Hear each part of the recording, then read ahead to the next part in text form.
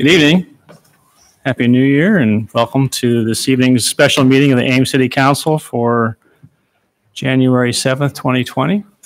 And uh, before we start, congratulations to Bronwyn and Tim for uh, reelection and being sworn in. And we welcome Rachel to the uh, dais tonight as our newest council member.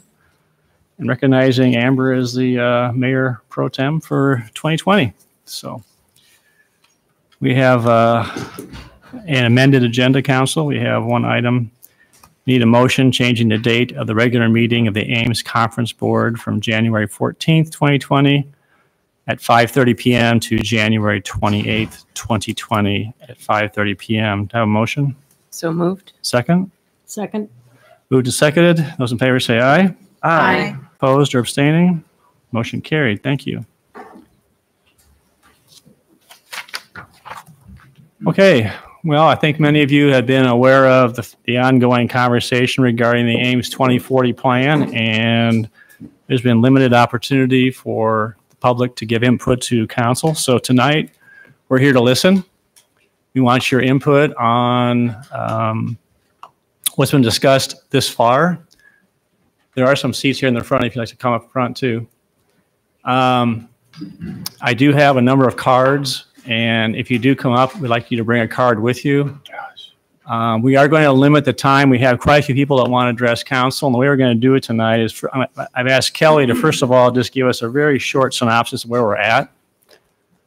Then we'll open up the public input, and we're going to ask people to limit their comments to four minutes or less so we can get everybody in, and we'll spend about an hour on that. Then the council will have a discussion based on the uh, what we've been talking about, engaged in, as well as your input. And then we will reopen up for public comment, and and if council has comments or questions for specific uh, individuals, we'll call you up. We're a little more informal this evening. Uh, our goal is to be done by nine o'clock. If we go later, we'll go later. This is an important input session, and we want to hear what you have to say because next week, council is making some decisions. And with that, I'll lead in and ask Kelly to go ahead and kind of share where we're at and what council's being asked to give direction to staff next Tuesday night. Good evening, council. Uh, as you mentioned, tonight was a is really about public input. We gave you an overview of all of the content that we prepared for the scenarios back on December 19th, and we put all of that presentation information online and made notice of that availability. So we're really not going to review any of that tonight. We're assuming the people that are here tonight had a chance to look at that information and have had a chance to become educated in what was discussed. Uh, quickly, though, the scenarios were not set in stone. They were an evaluation task that council asked for.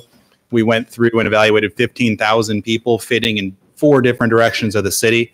And then we also broke that down into tiers. So tonight, I'm sure hear comments both about the scenarios, which we're saying are the big picture 15,000 person directional issues. And then at the 19th meeting, we broke things into tiers. So you might hear people talk about tier one in the west growth area. And that would mean they're talking about a smaller percentage of the 15,000 people that city staff had looked at uh, being able to be served at either a lower cost or was already consistent with existing policy. And we had tier two and tier three, which were more midterm or had more issues that had to be resolved up front. And tier four was really a long term, maybe even beyond the scope of the plan depending on how how things turned out. Uh, so what we had asked the city council for and is on January 14th to move forward with the project that we uh, that we get direction from the council on what a preferred combination of land uses are. And what that means is if, if council believes that one direction of growth is is the best way to do uh, the planning for the city's future. I'm sorry, I lost my cursor here and I can't get this to, to go exactly how I want this to work. Uh, then that's the input we need to see. If, if city council thinks there's a combination of things that work for the city, then that's what we're, we're looking for as direction on the 14th, whether it's tier one, tier two, is it west, is it north, is it east, those different combination of, of different geographies. Uh, that's what we're looking for on the 14th from city council. And with that input, uh, what we have outlined here is what we showed you on December 19th. If, if you can give direction to staff and to RDG on how to move forward, then we can start to take just the geographic areas and start to plan for the land uses in a more concrete manner that reflects the general goals of the city for this project.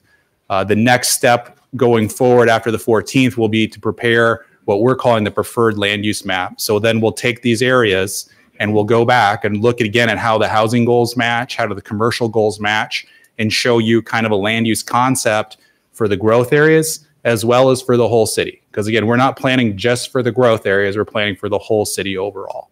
And we're going to call that the preferred land use map. And then your next conversations will be in February, where we can bring materials back to talk about the, the preferred land use map, as well as the land use designations themselves. And what are they going to mean for housing types? And that's where we're going to keep moving forward on the different topics and different chapters that are going to go into the comprehensive plan, not just this growth scenario task that we've been working on for quite some time. So I hope that lays out what we're looking for here in the next month. And, and again, in February, it'll be a pretty meaningful meeting as well as we start to, to put more flesh onto the bones of the, of the plan.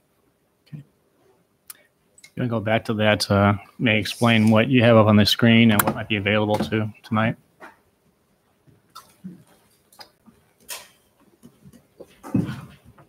So we have the whole presentation available if there if questions come about specific things. I'm going to leave this up as the backdrop for people. This map reflects RDG's um, conceptual layout of these four different areas.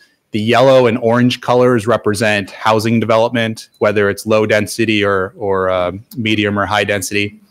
The brown and the reds represent either high density development or concentrated commercial areas. And I've also highlighted on this graphic the purple which reflects the two employment areas that we've said that we're committed to as a city.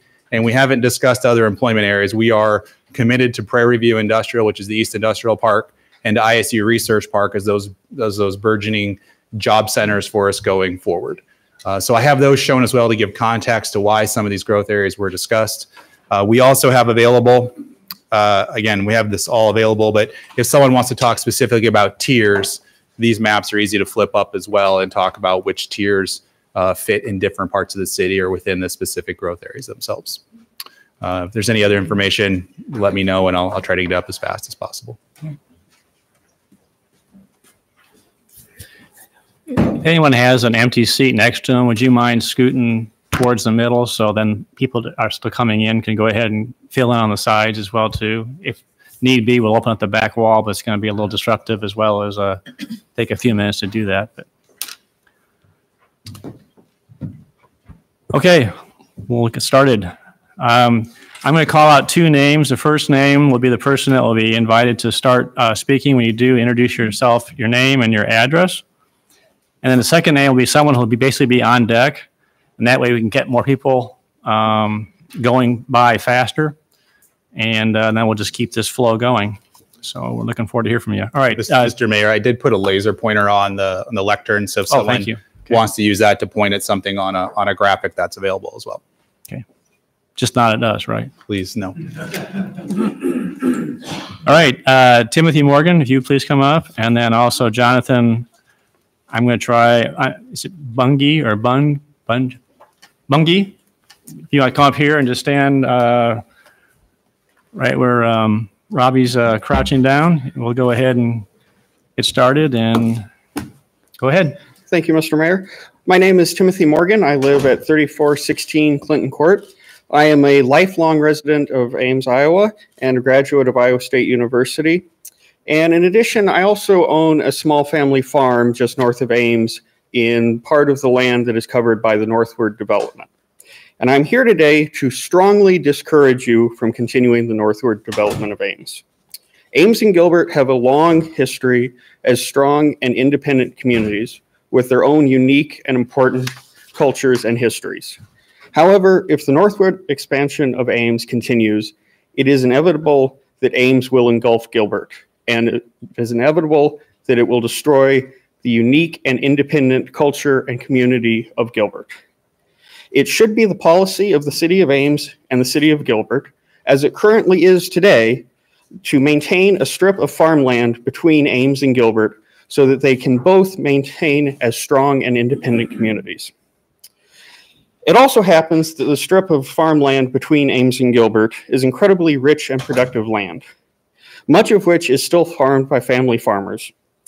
It would be far better to target areas for development that are in hilly and or wooded areas, which are poorly suited for farming and are generally preferred by home buyers as they provide more scenic surroundings. It is also important to note that the area considered for Northwood expansion is much of it lies within the Ada Hayden watershed and it sits over top the Jordan Aquifer. As you know, these are respectively the secondary and primary water sources for the city of Ames. If the Northwood expansion of Ames continues, there is risk that the water supply for the city of Ames will become polluted. Finally, I ask you that whatever course of action the council decides to take regarding the future expansion of Ames, make sure it is done in a moral and ethical manner.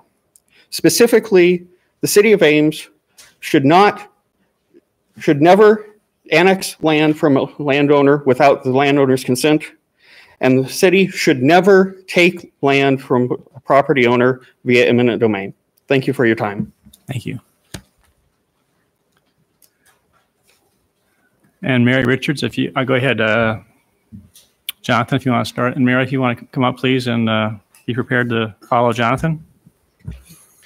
Good evening, Council. Thank you for this extra meeting. Um, my name is Jonathan Bungie. I live at 226 South Maple Avenue. Um, I'm a Minnesota transplant, as you might tell from my sweatshirt tonight.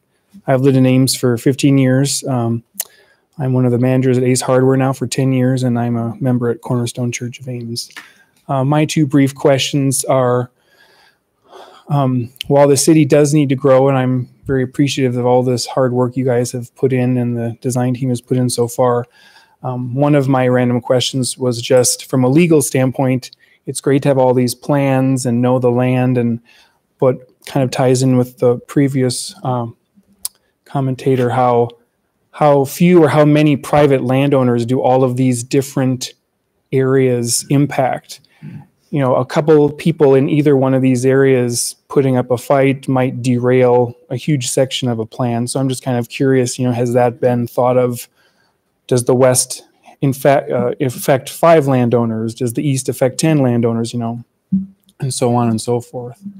Uh, second, um, you know, there is rumors and and uh, conversations out there that maybe a, a, fleet farm will sometime come to town on the east side of Interstate 35 along 13th Street. Um, I think if I remember reading some of the documents that the eastern expansion is some of the most expensive because it is it has the least um, easy connections to current infrastructure how would if a store of that size come to the east side of 35 how would that maybe diminish the overall costs of the eastern project? And suddenly the eastern project would become a lot cheaper than some of the other geographical areas projects because the city is already going to start footing the bill for those types of city services to cross the interstate. So uh, thank you for this time. Uh, thank you for listening to me. Thank you, Jonathan. Mayor, how do we make sure we capture questions like that so that they get a response? Because I'm not sure we're going to have a chance to respond. Um, Uh, I would ask that you write them down, and then during the last part of the meeting, the idea is, is to, if you want to go ahead and ask someone to come back up and, you know, ask, you know, a question of them or try and answer that question specifically. maybe it's a good place for me to remind everyone that you're always welcome to send an email to the city council. So you can send an, send an email to us individually or to a group. So if you have a comment or question that doesn't surface tonight and you want us to hear that, feel free to send an email. Um, I just worry about expectation of questions that we might not be able to answer in the course of our dialogue tonight. Thanks. Thank you. Uh, and then uh, Gaylord Victor, Vic- Victora, Victoria, you're next after Mary. Okay, Mary. My name is Mary Richards. I live at 720 Kellogg here in Ames. And I think that uh, you probably all know what the topic of my uh, presentation is going to be. I do not have any specific recommendations for or against expansion in any of the four regions that the city has put forward. I am primarily concerned about environmental concerns, which are, I would say, addressed in the plan. Uh, insofar as they talk about the number of, of vehicle miles to be expected uh, per person, buffer zones, the, the integrity of our water sources and so forth. Those are fine, those are great, but I'm telling you, those are 20th century issues. We are now two decades into the 21st century. And I think that it behooves all of us, including the city council, to recognize how important it is that we take into account the effects of the climate crisis. Um, the city should set specific timelines uh, to bring community carbon footprints to zero. And this includes whatever expansion choices you decide. We really should be doing that. Many other cities of our size and with our composition have done that already. I think the city of Ames should do it as well. We should be looking at a citywide recycle system that would include all of the areas that you plan to expand into. We should be looking to whatever we can do to convert our transportation into non fossil fuel uh, kinds of approaches. We should, you should, in terms of uh, the expansion or the allowed expansion, you should be considering what kind of materials are you going to allow contractors to use. Cement is one of the highest carbon footprint things there is, and there are lots of other alternatives. There, there are there are many things that are happening nowadays that I think the city should become aware of, and should really, you know, let's let's be proactive in this area. We are blessed in this community with so many experts in relevant fields, thanks to ISU and many of the people who are there. We ought to be taking their expertise into account. We ought to be using the resources that we have. So uh, I just ask you to make the climate crisis a central background thing that you're thinking of as you consider where we're going to expand. Thank you. Thank you, Mary. Okay, Kent, is it Vic, Vicar, Vic, Vickery, next?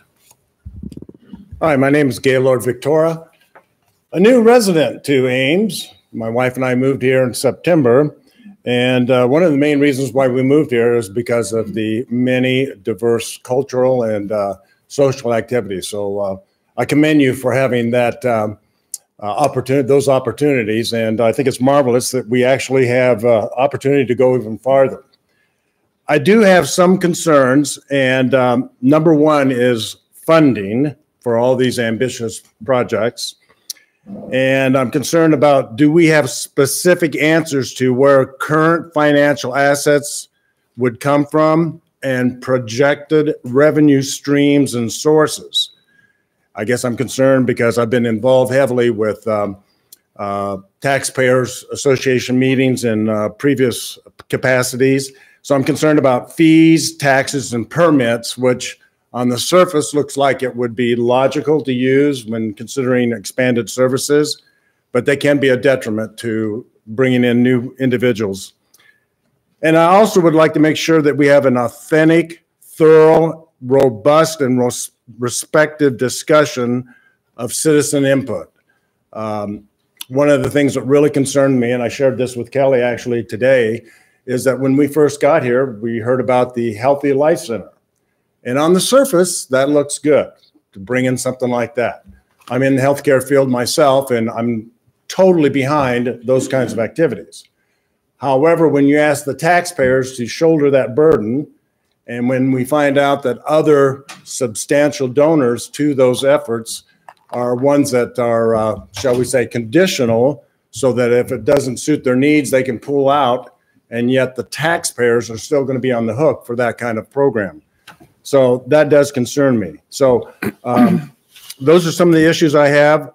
Lastly, I will tell you that I see that uh, for the north uh, area that we're looking at, it's indicated that a public safety resource or facility, including police, is being considered. Uh, that's great, but I think we need more than just police. I'd like to suggest also that we look at um, fire, and maybe it was fire, but public safety, police, and EMT services, and also consider what the impact of water and sewer expansion would be there. So uh, those are some of my concerns. And again, I'm glad to be here in Ames, and um, I'm going to be more involved in the activities here as well. So thank you. Very good. Thank you. Thanks for coming. All right, Kent, and then Phil. Isaroli.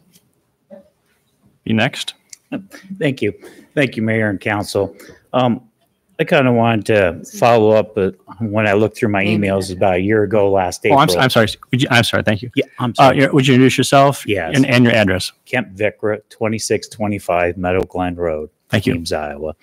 And um, been in, back in Ames for 20 years. Part of that, graduate of Iowa State Ag Business and that. So familiar with Ames and great community. Um, with looking over tonight's meeting, I pulled up the email I sent to everybody last April, really regarding um, the southwest area out there. And um, a lot of my concerns are really the same of safety, environmental, excuse me, issues of the creek, limited growth really of the Iowa State farms out there.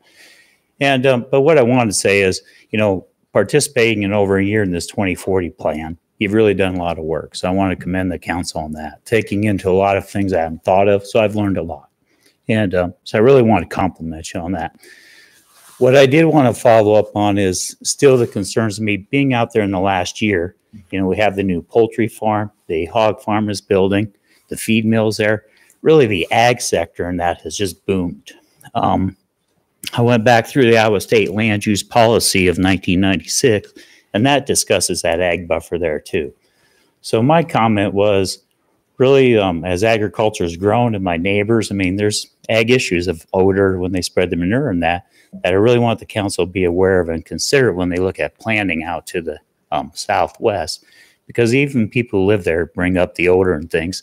I'm not sure if everybody you know, they see the area, but they aren't really aware of what's past just a quarter of a mile. And really, where the livestock is, is just a few feet away. So, bringing more people into that area, I think, kind of puts a conflict between agriculture and what people expect out there. So, those are my comments. But again, thank you. Thank you, Kent.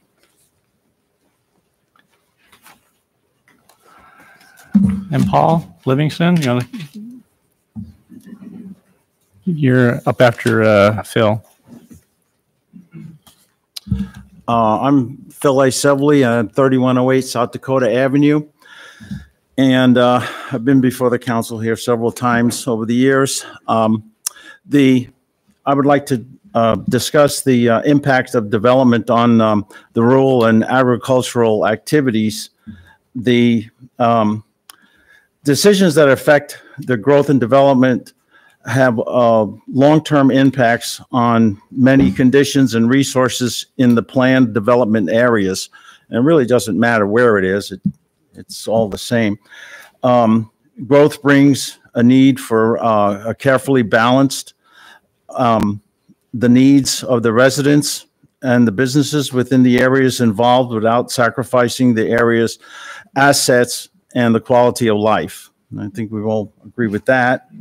Uh, positive assets and quality of life are often associated with growth's long-term impact on the preservation of natural resources, public health, transportation resources, and adequate provision for emergency services. So we need to think about that. I mean, I know there's been discussion about an additional fire station, so on and so forth. Um, but I would like to to focus right now on the natural resources and environmental quality that is that gets impact in the area.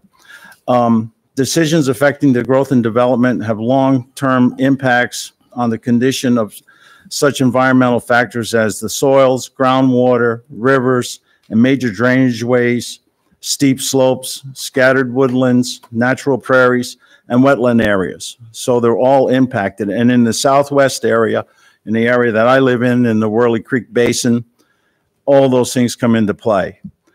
Um, these natural areas provide habitat for wildlife and are necessary to, say, to sustain and support environmental systems. In other words, the ecosystems and all the lives, live, uh, all the animals and so forth that live there uh, and plants.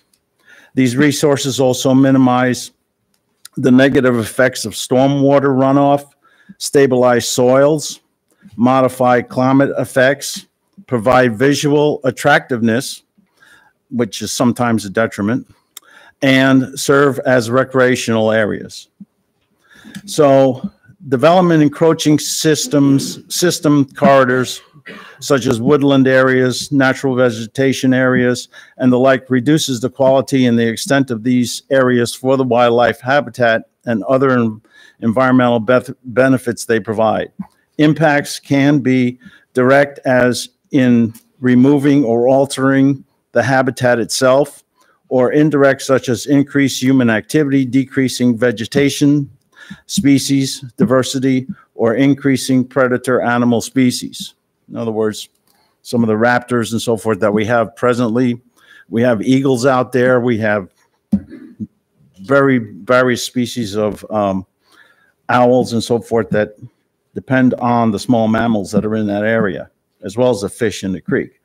Anyway, um, identifying such resources and cooperatively planning in order to sustain the natural areas within the planning area helps mitigate the negative effects of the growth and development on these areas. Um, I would encourage the council, if they haven't already, but I'll hold this up. This is the 2005 study, Worley Creek Sanitary Sewer Extension Study that was done. The city funded it 60, $65,000 to have Stanley Consultants do this. It's quite comprehensive. It talks about the slope of the land, talks about the different animals, the flora and fauna, and all that kind of stuff. Um, so I would like you to review that if possible. I would like to express my concern to city council and city staff that they would review the Worley Creek Sanitary Sewer Extension Study completed by Stanley and Consultants and presented to the city of Ames in January 2005. This comprehensive study should be used as an additional tool in any future considerations involving development of the area indicated in the southwest growth area in the Ames 2040 plan. Thank you. So, thank you.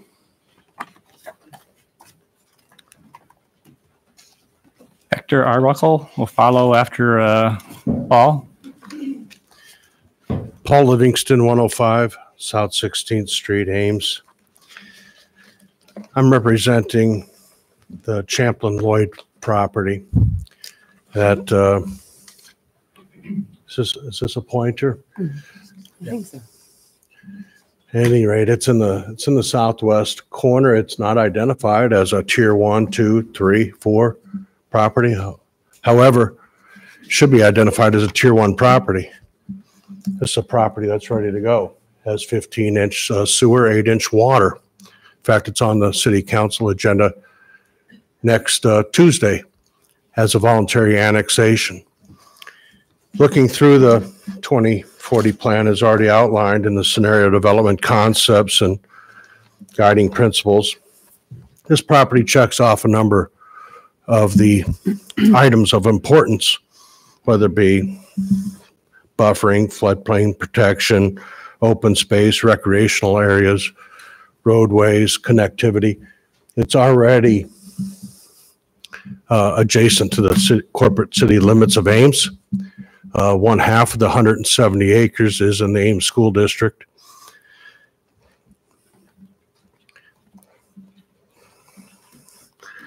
I, I would hope that this property could be considered in- into your conversation for a number of reasons. Again, we have um, the proximity to Iowa State, Research Park, fire services, whether it's where it currently is on Welch or whether it's relocated, centrally located. It would serve as a tie-in between um, uh, state and um, South Dakota.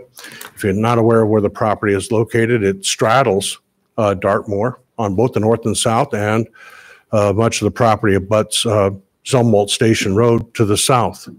It's a it's a natural growth area.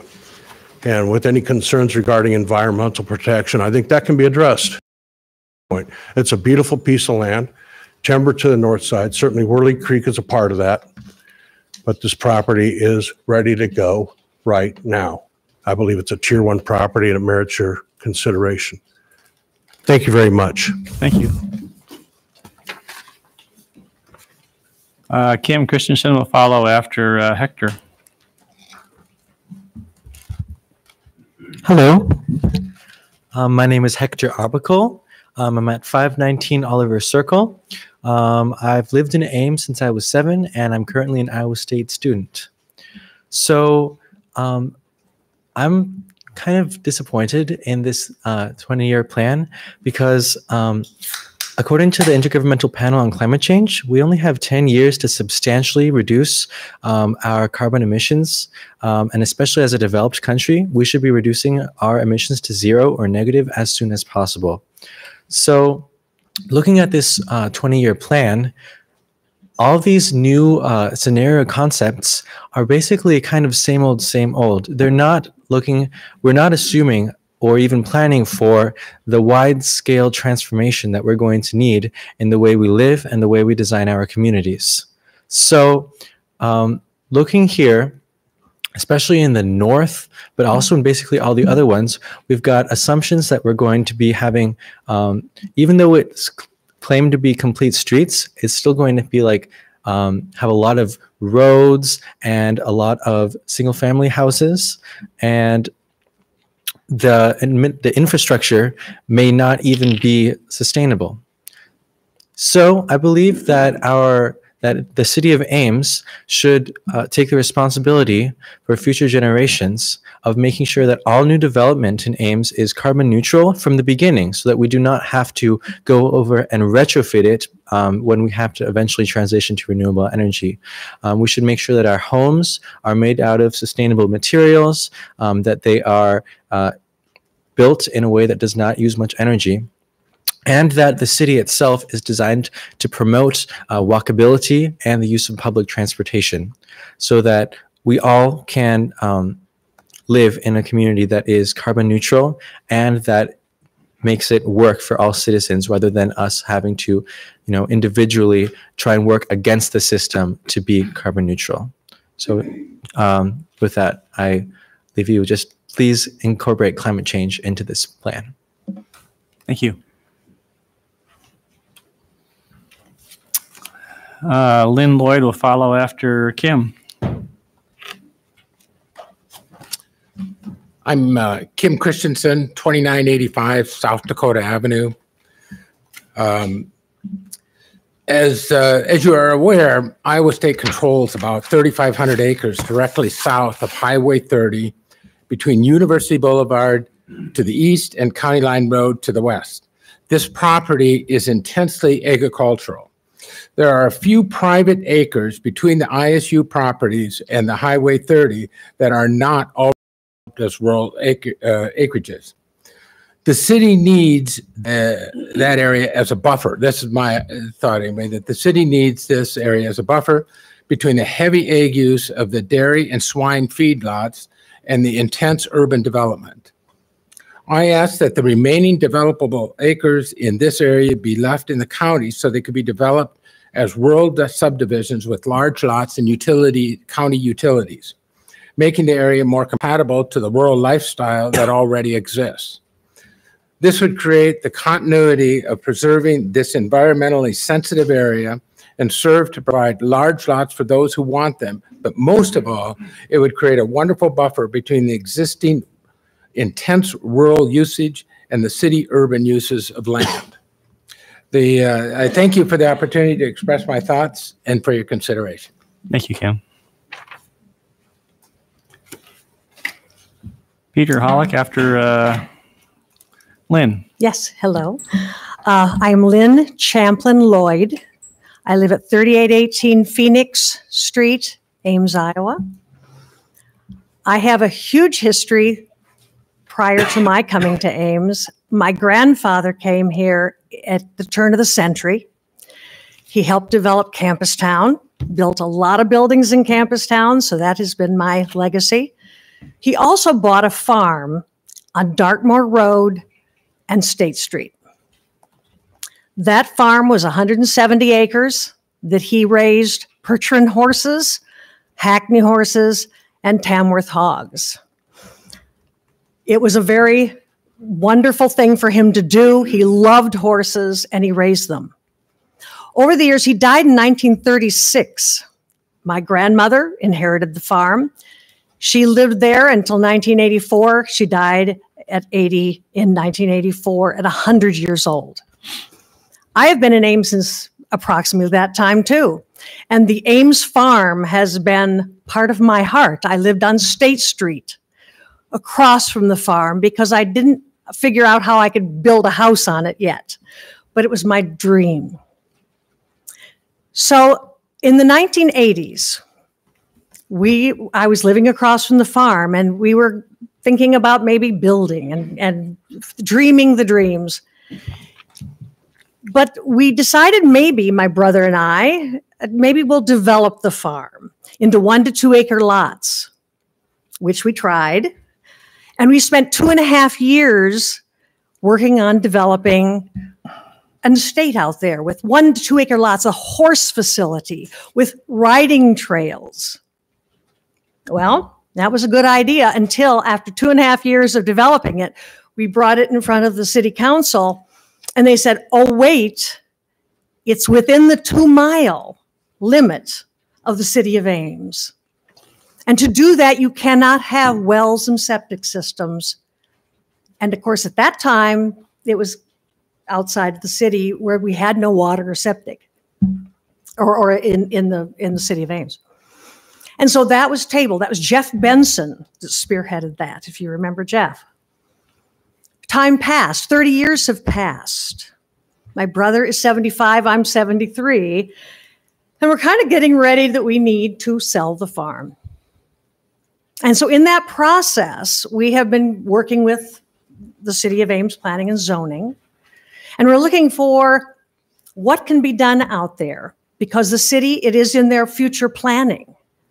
Prior to that, we helped the city put in city water and sewer, which we paid for part of, down the Dartmoor Road and through the valley to, to, uh, uh, to give water and sewer to the people out there. That was $80,000, which we spent. To do that, we had to sell off 10 acres of that farm. So now, many years later, we're ready to move on. And we next Tuesday, we will be out here again to talk about annexing a portion of that farm because it's ready.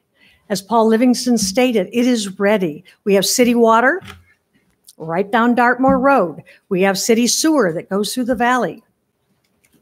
I am very, very aware of the environmental issues out there. Someone will have to deal with that whoever would be buying it and developing it. But we have figured out there is a huge valley there that cannot be developed. It'll be beautiful, the Worley Creek. It'll have to stay the Worley Creek with all of its beauty. And be a wonderful place for people in Ames to live. And so we're hoping as of Tuesday that we can get this part that we have talked about annexed into the city of Ames after a 40 year process here. So really seriously look at it. It's it's going to be a wonderful place for people to live. And it's within the two mile limit of City of Ames and the, the university. Very, very close. So seriously look at it. Thank you. Thank you. Okay, uh, Brent Pringet, Pringnitz will follow after uh, Peter. Hello, my name's Peter Halleck. I live at uh, 114 8th Street in the Old Town area.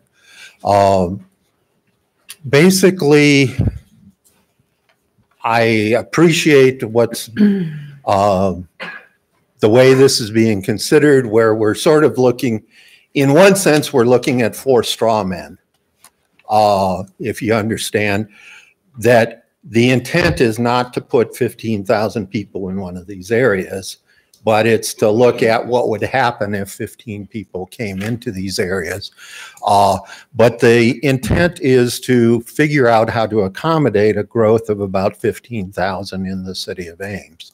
Uh, at this point, we haven't yet looked at infill and what the capacity to absorb population is of the existing city area. And I'm certainly hoping that infill can do a good portion of the 15,000.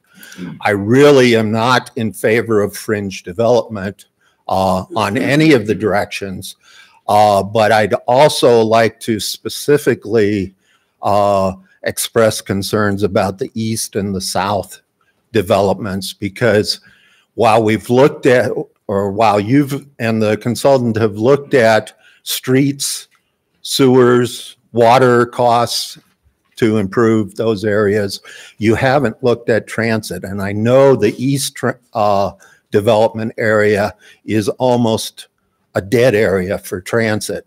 Uh, right now, that area is served by demand response because it is just impossible to develop a fixed route that can efficiently serve that area because you've got about two miles of floodplain that's undeveloped that just means a, a totally uneconomical service to get out there. Right now, it is served by demand responsive service, but you put a big uh, number of people out there demand response isn't really going to work anymore. Uh, so I would urge you to put as much of the growth as you can into the existing city limits as infill. And I would urge you to look at contiguous development rather than uh, development that jumps over a floodplain to uh, I'd also strongly urge that whatever is analyzed in the final uh, looks very much at what the cost for transit service to those areas are. Uh, streets, sewer, uh, water are a one-time, relatively one-time. They have a life. I realize they have to be renewed after a certain period, but transit is a ongoing cost. And so getting into an area that's inefficient to be served by transit uh, is just uh, a mistake. And I totally agree with the idea of trying to make this a carbon neutral uh, growth, but I hope that as much as possible we can absorb it within the existing city limits. Thank you. Thank you.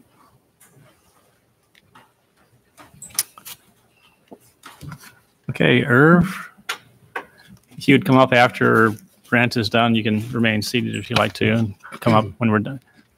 We'll have Irv come after he's done. He doesn't, he doesn't have to, he, he can say, remain seated if he wants to. I know it's a little harder for him. Brent Pringnitz, 2377 240th Street in Ames. Uh, but that puts me just over the county line into Boone County. Um, maybe a little late to the party, and it seems on the Boone County side we've not heard a whole lot about this. And so you can imagine it was just a bit unnerving to follow a Facebook link, link click on a map, and see your farm carved up into high density and low density and streets.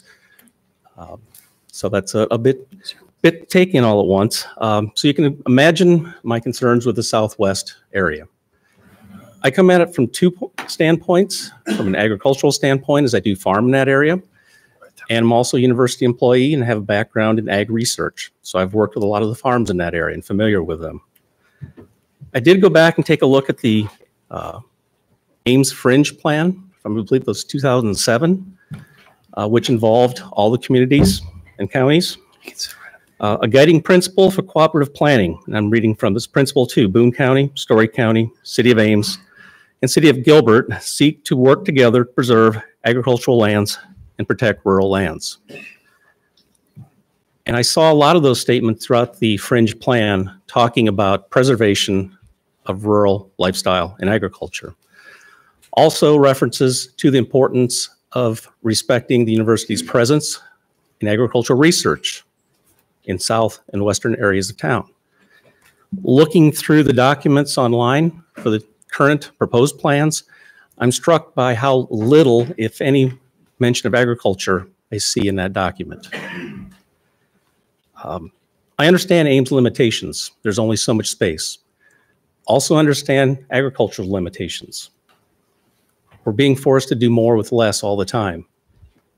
And as my grandfather constantly reminded me, they don't make any more of it. There's no more land out there to farm. Looking at the encroachment on universities' properties and agricultural research, uh, those are long-term investments out there. Research is a long-time investment. It takes a long time to establish some of those projects out there. Standing in my yard, I can look to the east and see University Farm within a mile. Southeast, a half mile. Straight south across the road, half mile. I look to the west, one mile. Beyond that, see the agronomy farm, which was moved out there a long time ago from the floodplain to get away from Ames growth. And you're headed that direction again. Um, so I thank you for the opportunity to present comments, um, but I do have concerns with the direction and uh, continued growth to the southwest. Thank you. Thank you. Jerry Neal will follow after Irv. Thank you. I'm Irv Kloss. I live at 2200 Hamilton Drive, in Ames. And I speak to you tonight uh, from the perspective of my long-term education and research as a population biologist. I've studied the four growth areas that, that you've outlined, and I have concerns about all of them, but mostly about the one to the north. Um, it seems that the north growth area will be the largest as far as uh, population density and geographical area. Yet there's less infrastructure shown to accommodate transportation, particularly uh, to access I-35. Um, Riverside Drive is indicated as the primary arterial to the east and will require a new interchange that will depend upon D DOT planning and funding, I assume. But Grand Avenue will be the only route to downtown Ames and North Grand Mall area. Until recently, I lived on Grand Avenue for 43 years. And traffic on Grand Avenue has increased significantly during that time. Until recently, I lived, Uh, years ago, I jokingly called the Ames Autobahn because speed limits are not enforced and drivers often exceed 50 miles an hour. And this is a residential area that's where I lived. Now I'm having trouble to selling my house on Grand because buyers don't want to live there because of the heavy traffic. When Grand Avenue is extended to the south, as you're planning, you might as well widen it to six lanes and call it a freeway. The south growth area seems to have the least amount of geographical area, and yet a planned connection to the interstate is directly, directly to it. You recall that I spoke to the council about a year ago and stated that this 20-year comprehensive plan was business as usual. And I still think that. The International Panel on Climate Change had just issued a warning just two months before I spoke to you that nations would have a little more than a decade, 12 years, to 2030 to reverse the trend of global warming, or it might be too late to control it. Global warming is a crisis. Is this land use plan a crisis? Are people lined up on the highways coming into Ames aching to get in? Now I'm going to become uh, my usual radical self. Uh, the biggest concern I have with this plan is the word growth. Growth to a developer means money. To an environmentalist and a population biologist like me, and someone concerned about future generations, growth means more finite resources will have to be used up. The fact that the Earth's atmosphere cannot safely absorb the amount of carbon we are pumping into it is simply a symptom to a much larger crisis. The crisis I refer to is the central fiction on which your economic model is based. It is the myth that our planet is limitless, that we will always be able to find more of what we need. It is not just the atmosphere that we have exploited beyond its capacity to recover. We are doing the same to the oceans, to fresh water, to topsoil, and to biodiversity. The expansionist, extractive mindset that has long governed our relationship to nature in this country to what this growth scenario calls into question so fundamentally. Are you certain that our drinking water aquifer will support another 15,000 people and all the industrial and commercial development that will come along with those people? The soil out there that you plan to cover over with houses is the richest in the world.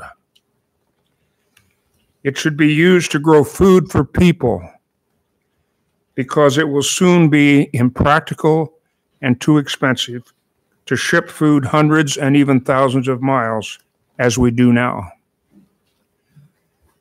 The abundance of scientific research that shows we have pushed nature beyond its limits demands not just green products and market based solution, solutions.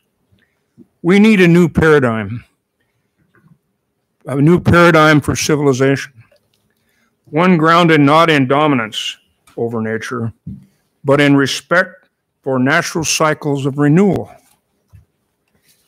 and acutely sensitive to natural limits, including the limits of human intelligence. So I'm sending you a message. Many of Western culture's most cherished ideas no longer apply. For the sake of future generations, look for a new paradigm. Thank you. Thank you. Uh, please.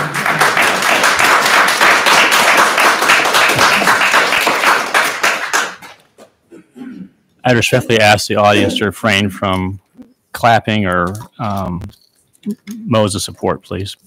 All right, Jerry. And after Jerry, we'll have uh, Jody Chittick. I'm Jerry Neal, 916 Ridgewood Avenue here in Ames, Iowa. Thank you to Irv and to others who've made some very relevant comments about the challenges facing us as climate change does manifest. Appreciate that. I'm here tonight to share some comments from the Ames Bicycle Coalition. And we do appreciate the opportunity to comment on the vision planning. Clearly, 2040 is about a vision for the future of Ames. It's an opportunity to plan for what we would like our community to become. For Ames Bicycle Coalition, this includes uh, becoming a community for transportation equity for cyclists, for pedestrians, and transit is paramount. It's not just about supporting automobile and alternate transportation, and that was definitely one of the guidelines that council gave to RDG. But it's about prioritizing transportation equity. So, with respect to any kind of future planning, this means encouraging infill and prioritizing the ease of getting around in Ames by something other than a motorized personal vehicle. And we've already seen over the past few years significant increases in alternate transportation in the form of walking, bicycling, electric skateboards, scooters. These are trends that can be expected to continue if they're accommodated for from the outset. So with respect to evaluating the 2040 scenarios, the Ames Bike Coalition's number one priority is whether or not the scenarios actively encourage alternate transportation from the outset. And if so, how do those scenarios compare to each other? The kind of uh, community future that we want to support, it starts with transportation equity. For example, if one of the scenarios disinclines cyclist or pedestrian access at the outset, that is, there's no accommodation in tier one or tier one interim, that's going to raise a red flag for us. If a scenario suggests that it's difficult or costly or delayed for CyRide service, that's going to raise a red flag for us. Um, an example might be our concern for uh, growth to the east. We call it northeast, but to the east development. The question is, will any improved alternate access be done in tier one? If not, it seems that a number of people might live and work there for many years before there is a new intersection at I-35 and 13th Street. It might mean that a family could live there 20 years. You could have your children, get them through school and send them to college and they never have that safe connection to downtown via a bicycle. And it doesn't seem like a vision that we want for Ames. So we are unclear, the Bike Coalition, about some of the behind the scenes um, modeling for these scenarios with respect to transportation, what we call alternate transportation. To what extent and how are the alternate transportations included in the models? And our concern isn't that they're not included, it is how, how are they assigned weight? Are they assigned a fair weight um, to alternate transportation priorities versus just a kind of for the day weighting? Um, because it seems as though the scenarios that are laid out designed first for the automotive, and then that leaves us to apply our complete streets concepts at a little bit later date as best that we can. But that's an approach that's relying on retrofitting, not on planning. So a vehicle heavy approach also seems to encourage being able to push the design and the implementation of alternate transportation modes back further into the scenarios. And this is sometimes justified by talking about how many miles this might be from downtown. However, it's not distance per se that discourages people from biking and walking. It's the conditions that you have to bike or walk under conditions, proximity to high volume, high speed traffic, unsafe or poorly designed intersections, lack of biking and walking facilities, streetscapes that are empty of people and places. That's what will keep people from riding and walking much more than distance. So the Bike Coalition wants to urge you to question what barriers to walking and to cycling and to transit may be implicated in some of these scenarios that we're looking at. We want you to keep the vision of Ames that encourages and promotes alt dot transportation as you make your decisions. Thank you. Thank you.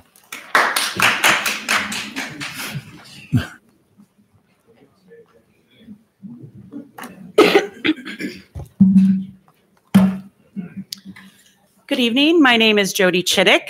I live at 3830 Hyde Highway. and I say that because I've lived there for 14 years.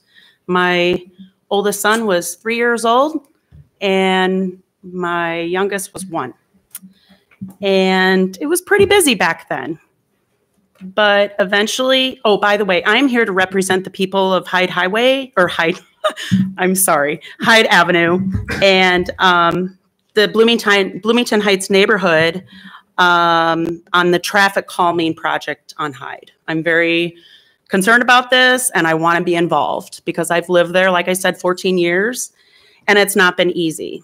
So when the road, Hyde Avenue, was extended up to Gilbert and paved, once it was open, it changed. The traffic doubled, the speeding increased, and I worry about the kids. I have lived here for 30 years. I'm a two time graduate of Iowa State University, as well as my husband, who works in the research park. And we did move out of town for a while. When we moved back, we knew we wanted to raise our kids in Ames. At the time, I didn't even know we were in the Gilbert School District. but when my son started kindergarten, I started to be a substitute teacher, and I've been doing that nine years. because I could be with my kids and I could be home with them. So I'm a mom, I'm a homemaker. I'm here to represent the people and the kids and the traffic problem. I love Ames and I love where I live, but I don't like the traffic and I don't like the speeding. And I've had some incidents where I've almost been hit getting my mail. It's 25 miles per hour and people don't do the speed limit. I don't know how to stop it besides taking a license plate down and calling the police. So I want to go through with you just a couple of things that I think could help and basically want to see my, say my piece.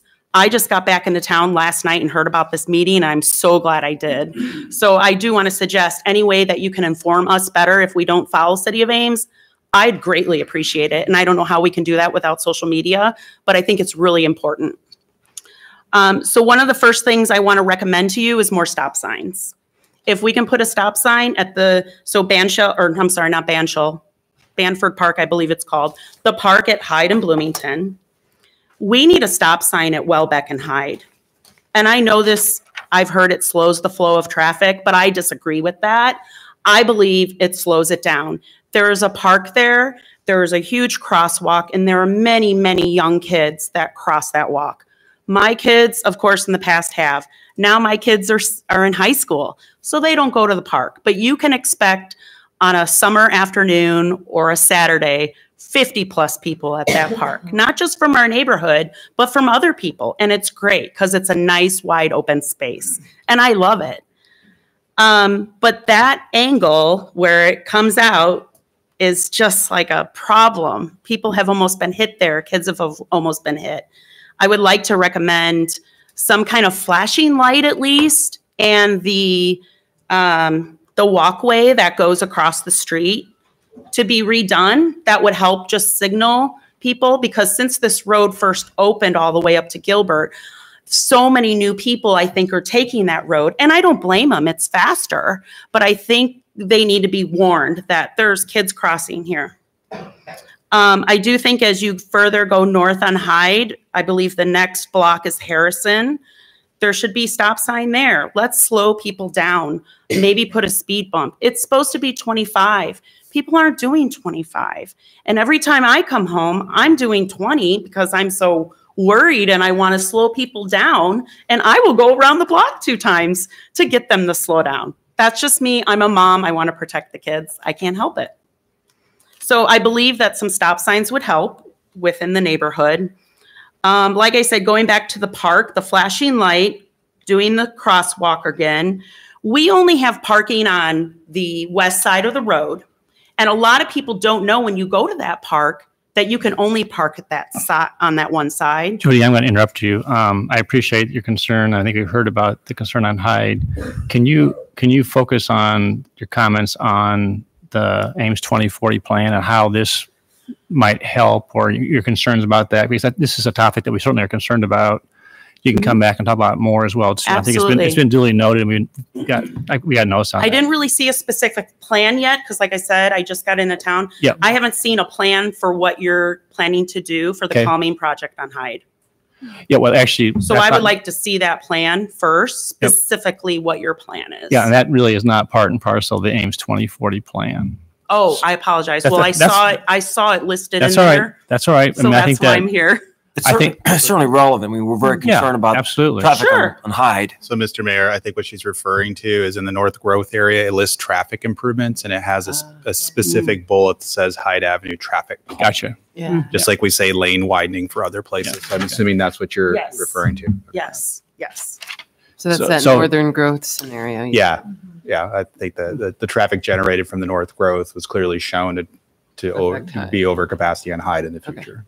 Thank you, Kelly. Um, so who, who can Jody talk to further about the traffic calming project? Is that something that Damien's working There on isn't right a now? real traffic calming project because it was Okay. what it, it depends on where we go with growth, what the follow up implementation measures are. So it was highlighted, just like a lot of things, that if you do this, you're going to have to come up with an implementation measure to be able to address it. So right now, there is not such a project. It's not in the CIP. It would be something that would Okay. come out after we, if if the city goes that way, you'd have to have implementation measures. Okay. I- Can I just make two more comments Absol- on- since absolutely. I've Thank you. started Thank you. on this because I live there and Um, so I've already talked to you about the couple of things there. And it, this is kind of what maybe hits this on the next point. When you go up the road and you hit 190th, you can't get across. So I know you've talked to something ab- about up there expanding because if you leave in the morning at 7:30 and you're going north on Hyde, if you want to turn left or go straight across 190th, you will sit there for a while. I actually tell my kids to go around and take 69 hmm. because there's less traffic. And so I know we're on the border of City of Ames and Gilbert. That's not my point. My point is I'm concerned about the Hyde Avenue and the traffic. And but with that, we have the traffic because of the growth. Mm-hmm. There's new housing developments up there. There's a lot of new people in the area, and they don't respect the speed limit. And it is a very curvy road. So I think more speed limit signs, more stop signs, um, whatever we can do to protect families and kids, mm-hmm. honestly. My last thing I want to say about this on the Hyde Avenue traffic calming project is I've heard rumors that our parking might be mm-hmm. taken away. Now, before I moved to this house, um, there was no parking in the beginning on Hyde Avenue. And then some people who lived there fought for it and said, we need parking on one side. And here's why the homes on Hyde are only two garage door, like two cars can go in. So if you take our parking away, where are my two kids going to park? So I really, I just want to say, please, and you look forward to, to this project. I would love to give my input. Don't take our parking away because I fear that you take our parking away, it's going to make it even more of a traffic problem. And so I'm looking at my husband saying, what do we do? Do we need to put in an extra cement pad and spend five, eight thousand dollars? I don't want to do that. Um, and my kids, my son's going to go to Iowa State this fall, and he's going to live in the dorms, but he's going to move home, and there's always going to be an extra car there. Um, so I guess, yeah, that between Bloomington Road and 190th, it is a problem. I really hope that in your future, you're coming up with these decisions and everything else in your future plan that you really look towards, look at this because it's like, you know, living on Grant Avenue, when that man said that, I felt, oh, I felt for him, you know, and I worry that that road is going to become that. So thank you for letting me share everything. I Thank you. apologize that it wasn't directly towards, No, towards think- this, but I thank think you for bringing that up. I up. think Kelly, Kelly helped uh, clarify that, so I think Okay. you're germane. Thank you. Great, thank you. Mayor, could I make a point to Jody's? Yes. Um, Jody, you mentioned about the, the importance of uh, staying up to date with what we're doing. And I think people should know that there's a really easy way of doing that. So if you go on the Ames Plan 2040 page, there's a link to sign up for updates. So as we progress through this process, if you want those updates, it's a very easy way uh, to stay up on top, on top, uh, top of what we're doing. So the Ames 2040 uh, page of the city's website. And you can get to that from the homepage of the city. Right. So thank you, Mayor. Thank you. Thank you, Jen. Okay, I have another card, and I'm I'm going to apologize ahead of time. I'm going to spell it. It's D H R V V Raturi. My apologies, and if you would uh, help correct me and help me understand how to pronounce your name, I appreciate it. It's very close to Drew. Hello, everyone. My name is Dhruv Raturi. Uh, my address is 2026 Hawthorne Court, and I go to Iowa State University. I'm here to talk on behalf of the new residents that are the premise of today's discussion, this new growth that we are talking about. When I came to Ames from New Delhi, I was surprised that you could breathe the air here and that the water aquifer wasn't leached with chromium or arsenic which is actually a huge problem back home. This is the environmental degradation that some of your new residents are fleeing. Therefore, this growth cannot be business as usual. You cannot attract new residents that are that are fleeing broken water, air, and transportation systems by proposing streets that are not walkable. A waste stream that is medieval even when compared to standards back home. Walkability, in particular, is a great opportunity that I urge everyone to consider. It reduces the extent of change in land use in land use required that would allow farmers to keep their plots of farmland. Walkability and, as previously mentioned, equitable transportation also is good for local communities, local commercial enterprises, as new residents, people that look, act, and interact with people like me, are more easily incorporated into the communities and um, are more and learn the importance of, of shopping local. We have an opportunity to reimagine the city and to create a sustainable and inclusive future. So I ask, should our new development be number one, net zero emissions? Number two, make room for community gardens. Number three, ban the use of natural gas and fossil fuels for space heating in favor of beneficial electrification so that when we retire our carbon intensive power plant, which we all know serves the serves the use serves the main purpose of it being to convert waste into ashes over Ames. Um, that we know that when that happens, that heating can become more sustainable. Thank you for hearing the perspective that potential future residents, such as myself, might have. These 15,000 or so people um, that are fleeing areas that have experienced extreme environmental degradation um, and are attracted to areas such as Ames because of its pristine natural beauty and efforts by residents such as y'all to to maintain that environment of um, you know just amazing nature. Thank you. All right, Linda Merkin.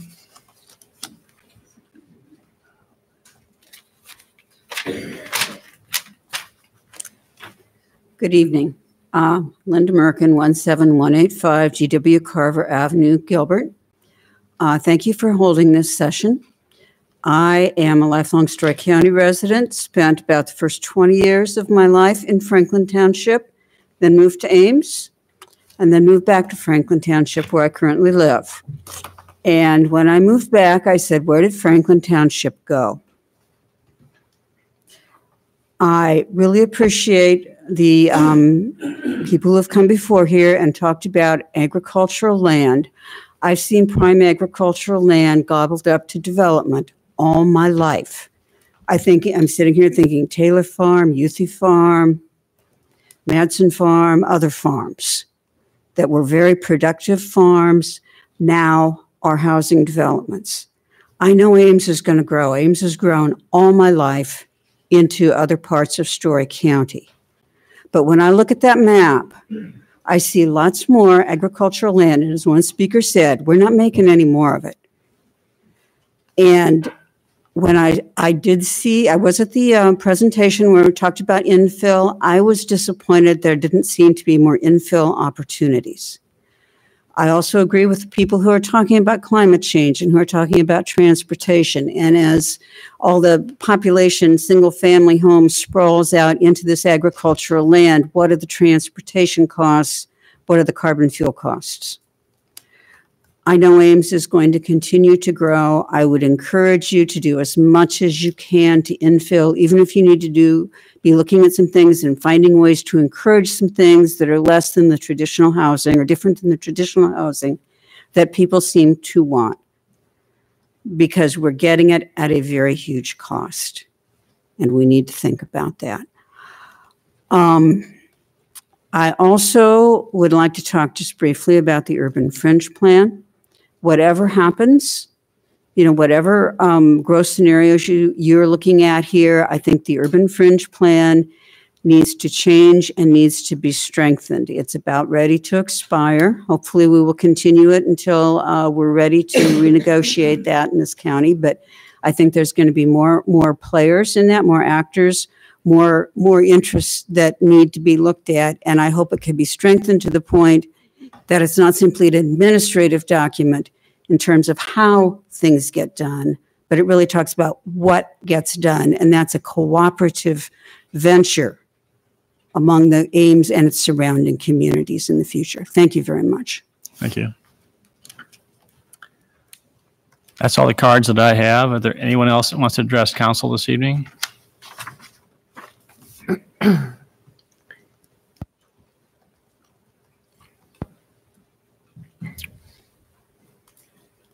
Evening, Mayor, Council, Justin Dodge, Hunziker Companies, 105 South 16th Street. Want to take just a couple minutes and thank staff and our consultants, RDG. They spent a lot of time, had a lot of input sessions. Uh, Certainly appreciate all the outreach that has taken place. So just had a couple of observations that I want to share with everybody. Um, I truly believe that this has been a, a really thoughtful approach, uh, balancing our future needs as well as uh, the parameters of the community. At first, when the Ames 2040 plan was coming out, I thought for sure it was only going to be one direction, that's it.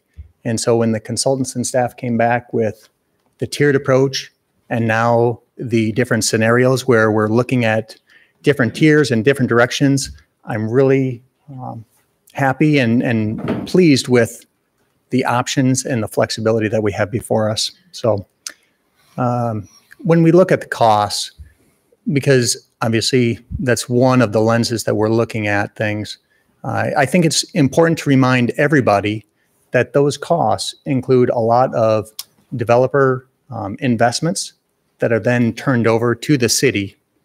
And a lot of the other costs that are in there could be pioneer infrastructure that are repaid by connection districts or um, assessments on the land, things like that. So the taxpayer is not on the hook for a lot of the costs that are shown in these estimates. I think that's important for everybody to understand. So, um, and then in looking at the estimates and, and things like that, and, and even staff had commented that these were very conservative conservative estimates and I think we need to keep that in the back of our mind. So uh, appreciate the options, appreciate the flexibility, and I believe the development community would be able to adapt and respond with whatever scenario or, or options uh, you select. So thank you. Thank you.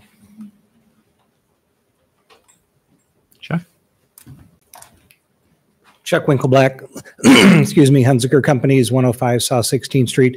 Just a couple of, of quick points. I was a part of this 20 years ago or more when we went through this the first time, and this is a much different scenario and process than than it was back then, and appreciate all the time that's been uh, put at it and and the manner in which it's prepared and and displayed. One thing in thinking about, I don't remember the lady's name that talked about Gilbert and Hyde Avenue. I think when Kelly made his presentation last time, we talked about, I think the challenge for you folks will be not just picking the low hanging fruit and, and making some of the tough decisions because some of the reasons I believe is why Hyde Avenue is the way it is, is we picked out some artificial lines and said Ames is never, never, never, never going to grow beyond this point and we built that infrastructure as such. And so I think your job, your challenge will be, and I don't envy the position uh, that you folks are in, and having to go through that is uh, to be mindful of not only the costs, the environment, all of those things, but also to make sure that when we're looking at some of these pioneer infrastructure things, that we also know that this plan goes beyond the next 10 years or 20 years. And so that as we're keeping rights of way and as we're looking at some of those uh, arterial collector streets, the transportation's been talked about a number of times tonight. Um, I think those are the type of things that, you know, we talked about. We only have one big sewer line coming down, you know, from the north, and to put a second one in is millions of dollars. But we also have to uh, look at, think about things I believe in in the long term and in the long range, and what are the best decisions uh, that we can possibly make for the community going forward. You know, just to talk about things haven't changed in the almost 30 years that I've been doing development in this town. Things have changed immensely from how we deal with the environment, all for the better. The way we deal with stormwater, the impacts on the environment uh, are different. Can they continue to be improved? Absolutely, but things are way different uh, when we used to think about putting the big pipes in the ground so we could get rid of the water as fast as we could and now we pond the water so that it stays on the site we do different kind of rain gardens and the way we deal with stormwater uh, in general very important but is also radically different than what it was uh, 30 years ago So uh, I applaud the way the process has uh, been laid out, and um, good luck with your decisions. Thank you. Thank you. Mark Harmison, uh, 2060 South 500th Avenue, which is the county line road. Uh, Just felt like couldn't let the developers have the last word. Um, uh, The main point I'd like to urge you to consider is, you know, all of these things are going to ultimately involve some sort of annexation. Um, Most of us who live in rural settings now probably aren't real excited about annexation, particularly if it involves large tax increases without getting any services in return. Two or three years ago, when there was some discussion around the Southwest Growth Priority Area, you know, I asked, I don't remember who it was, whether it was Kelly or somebody else at the time, you know, they said, well, yeah, your taxes will go up by about 50%. And I said, what do I get in return, return for that? Crickets, right? I don't get gas because that's the utility distribution. I don't get electric because that's utility distribution. We're thinking maybe we'll just let the sheriff keep doing the sheriff thing so I don't get police. I don't get to lower my insurance rates because I'm still going to get covered by Kelley Volunteer Fire Department. I'm not going to get a road because that's 10 or 20 years down the road before they pave my gravel. I don't get, maybe I'll get to hook up to our sewer system at a cost of $10,000. When I do get the road, maybe I'll, it'll cost me thirty or forty thousand dollars to get the road. So I guess what I'd ask is when you consider annexing parts of this land, do it in proportion to the services you're able to provide immediately. Don't just annex a bunch of land to square off the boundaries of the city because it looks nice on the map. If you're not going to pave my road, if you're not going to give me utilities, fire protection, police protection, don't annex me and raise my taxes either. The other point, just real quickly, my property has Worley Creek running through it. Um, I'm not sure what's going to happen to the flooding of that if you develop all around me. I know if I wanted to develop something in the floodplain, I have to go through enormous hoops to do that. I just got finished looking into it. I hope that you all are as careful about flooding me out as I have to be about flooding my neighbors out because I don't want to get I don't want to get flooded out either. So, thank you. Thank you. Anybody else? Lauris? Uh, Lauris Olson, 1705 Buchanan. Also, I'm here to speak to a little bit of the history that I know as a Story County supervisor. And this did not occur to me to say it until I listened to a couple of discussion. The discussion turned toward um, Hyde Avenue and 190th. And what kicked in my mind than with any expansion to the north or the northwest is an issue that we, the Story County Supervisors Board, about a year and a half ago or two years ago discussed. And I just want to reemphasize about pay attention to where that traffic flow is going to be, infrastructure, not only Hyde. I live on Eisenhower, so I'm with you on that. Okay. Um, and we did look at Hyde, as you know, we, we had our engineer send a letter, but North Dakota is a problem also. Um, and that's what I'm going to reference that the previous Board of Supervisors we looked at. And the traffic count on North Dakota already is over a thousand a day. We cannot widen it per our engineer because those are steep ditches and there's nowhere to really, I mean, to annex, all we'd be annexing would be a lot, a huge bill to go ahead and do infill to try and widen that.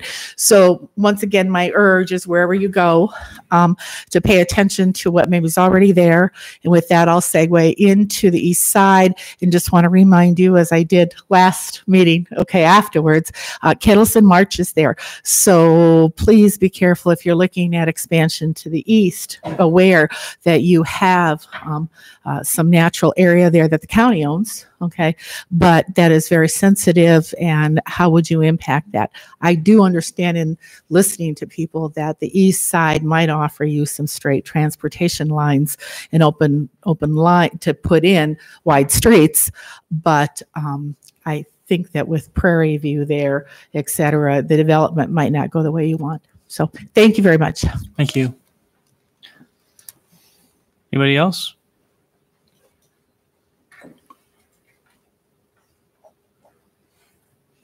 Okay, we'll close public comment at this point in time. Um, Kelly, can you, there's a couple of people have talked about, you know, pending annexation requests coming, you know, next week. And I just want to make sure that if you just share what process they go through, and the fact is that I'm not trying to do a bait and switch that all of a sudden, boom, we're doing annexation, you know, next week or being asked to annex. And the point is, um, I don't think council's that involved really with that. That's really done with staff. Is that correct? You can explain that process and what we can expect on that. So we, we received a, a voluntary annexation petition for the Champlin Farm property off of Dartmoor that was described to you. Uh, once that application uh, was determined to be complete, the first step is to bring it to council to decide whether you want to proceed with that process. It's a discretionary process to annex land. So on the 14th, what you're being asked by the Champlin applicants is to is to kick off the public hearing process.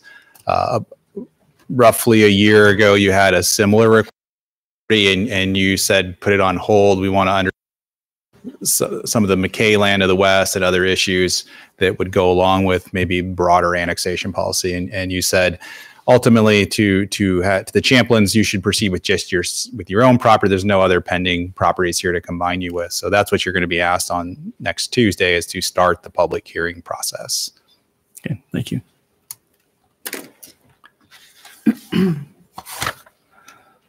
And and if if the follow on that to that was the current land use policy plan designates that area as an urban service area. So if you choose to proceed, you're going to be following the current land use policy plan, which is your adopted policy of the city. Uh, the the potential of adopting a new plan is likely not a factor in your decision, um, other than maybe from a timing perspective. Well, I think that council is very sensitive to being forthright, transparent, and not trying to, you know, come across as saying, "Oh, we'll- we'll ask for your input," but then we're going to, you know, approve annexation. The point is, is that it's just coincidental. And you're right. We the Champlin, I'm sorry, the uh, McKay property was uh, talked about, you know, Yeah, previously. and one thing that's a struggle with this exercise is this doesn't depict the current land use policy plan. There's other areas in South Ames that are shown as urban service areas. Uh, there's areas shown in, in West Ames that overlap, and some of these others don't have urban services here. So it doesn't necessarily match everything that's in the current plan. This was again an exercise, as as uh, Mr. Halleck put it, it, it's creating straw men. It's showing you what would happen. Isn't necessarily the one you would pick, but it shows you what would happen. And if, as we move to preferred land use plans, we'll start to pick up some of those other properties that, that we assume if, if the Champlins move ahead with the annexation request and you do that, obviously we'll show that as part of the city to be consistent with, with the direction that that's headed, along with some other uh, fringe properties that are just too small on their own to be part of a scenario, but would be logical components of the city. Okay. All right, council.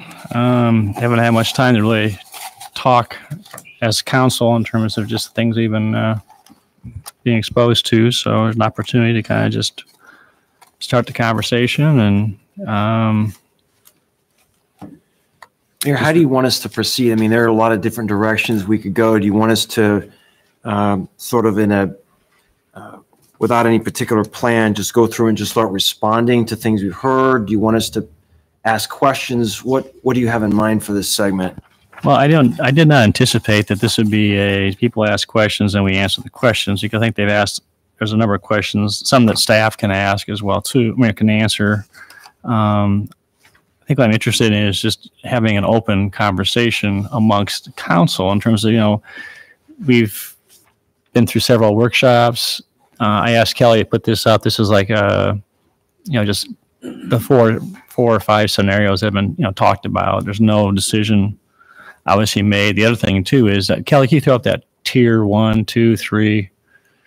Um, we also talked about the fact that that uh, I call it the uh, the light blue, that tier one. Actually, why don't you, Kelley? Why don't you explain what those tiers are for the for those that may not be aware of it? Right. So in the in the presentation in December, we walked through each growth area in detail and tried to break it uh, down into pieces that could be logically served by the same infrastructure investment. So you could kind of see some logical breakpoints about where you would have a next leap in a, either a service delivery or something that needs to happen.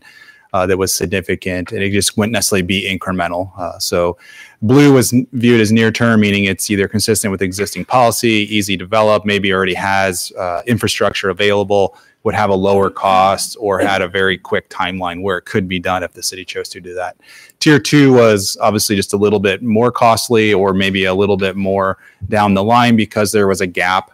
You needed to do tier one first to get to it. So those progressions uh, it, aren't meant to be linear necessarily. It doesn't necessarily mean that all blue has to be done to get to green, but green obviously needed something to happen before it could happen. So that's why it became two.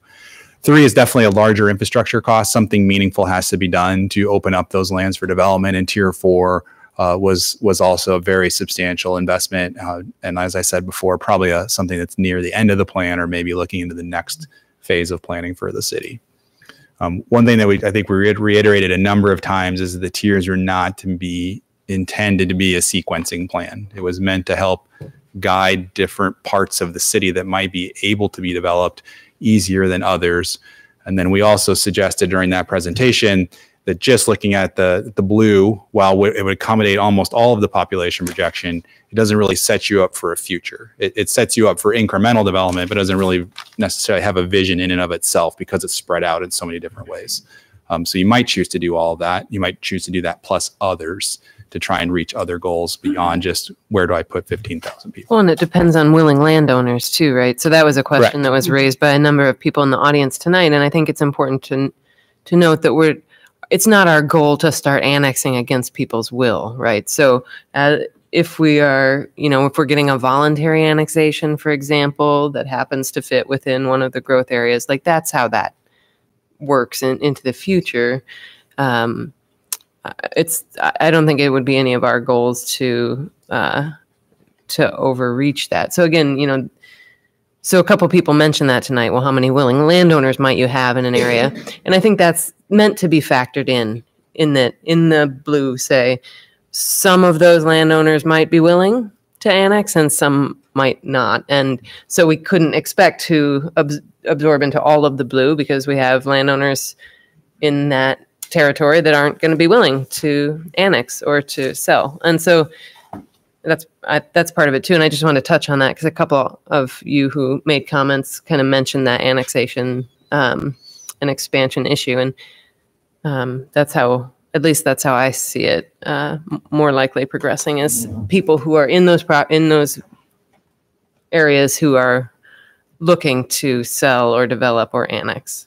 Bronwyn, I, I would just want to say though that we are one council and this Sure. plan goes for 20 years. That's So I'd be very hesitant to promise anybody that a future council would not want to annex something against the wishes of the landowners. I didn't say I promise, but no, no, I no, but. I mean, I, I think it's, I, I think it's sort of short-sighted of us to, to see this as, um, you know, the benevolence here that we maybe possess, not wanting to annex against landowners' will is something that is confined to our interests and not any future councils. So, Well, I think it's safe to say that eminent domain is not going to be used.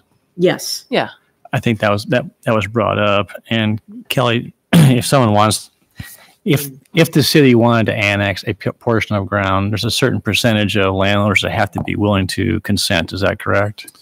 Yeah, so within a voluntary annexation, there is the 80 20 rule, which allows a city to add 20% additional territory, uh, whether they've consented or not to the process, for the purpose of, of filling islands, uh, making logical boundaries. You don't have jagged edges, so jurisdictional issues are, are readily apparent. You don't really want a, a, a jigsaw puzzle of who's responding on a roadway, the sheriff or the city police department, because one house is in or out. So those those ideas are embedded in state law that for for some reasons you can do 80-20 uh, to to have logical boundaries and to avoid islands. And is there a mechanism for less than eight, You can less than zero. 80?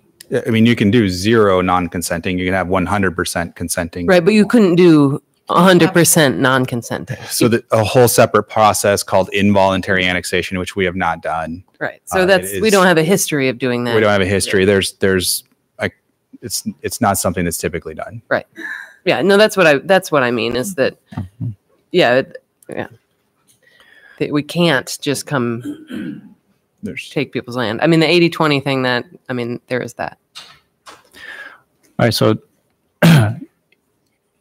I believe that was shared with council at one of the workshops.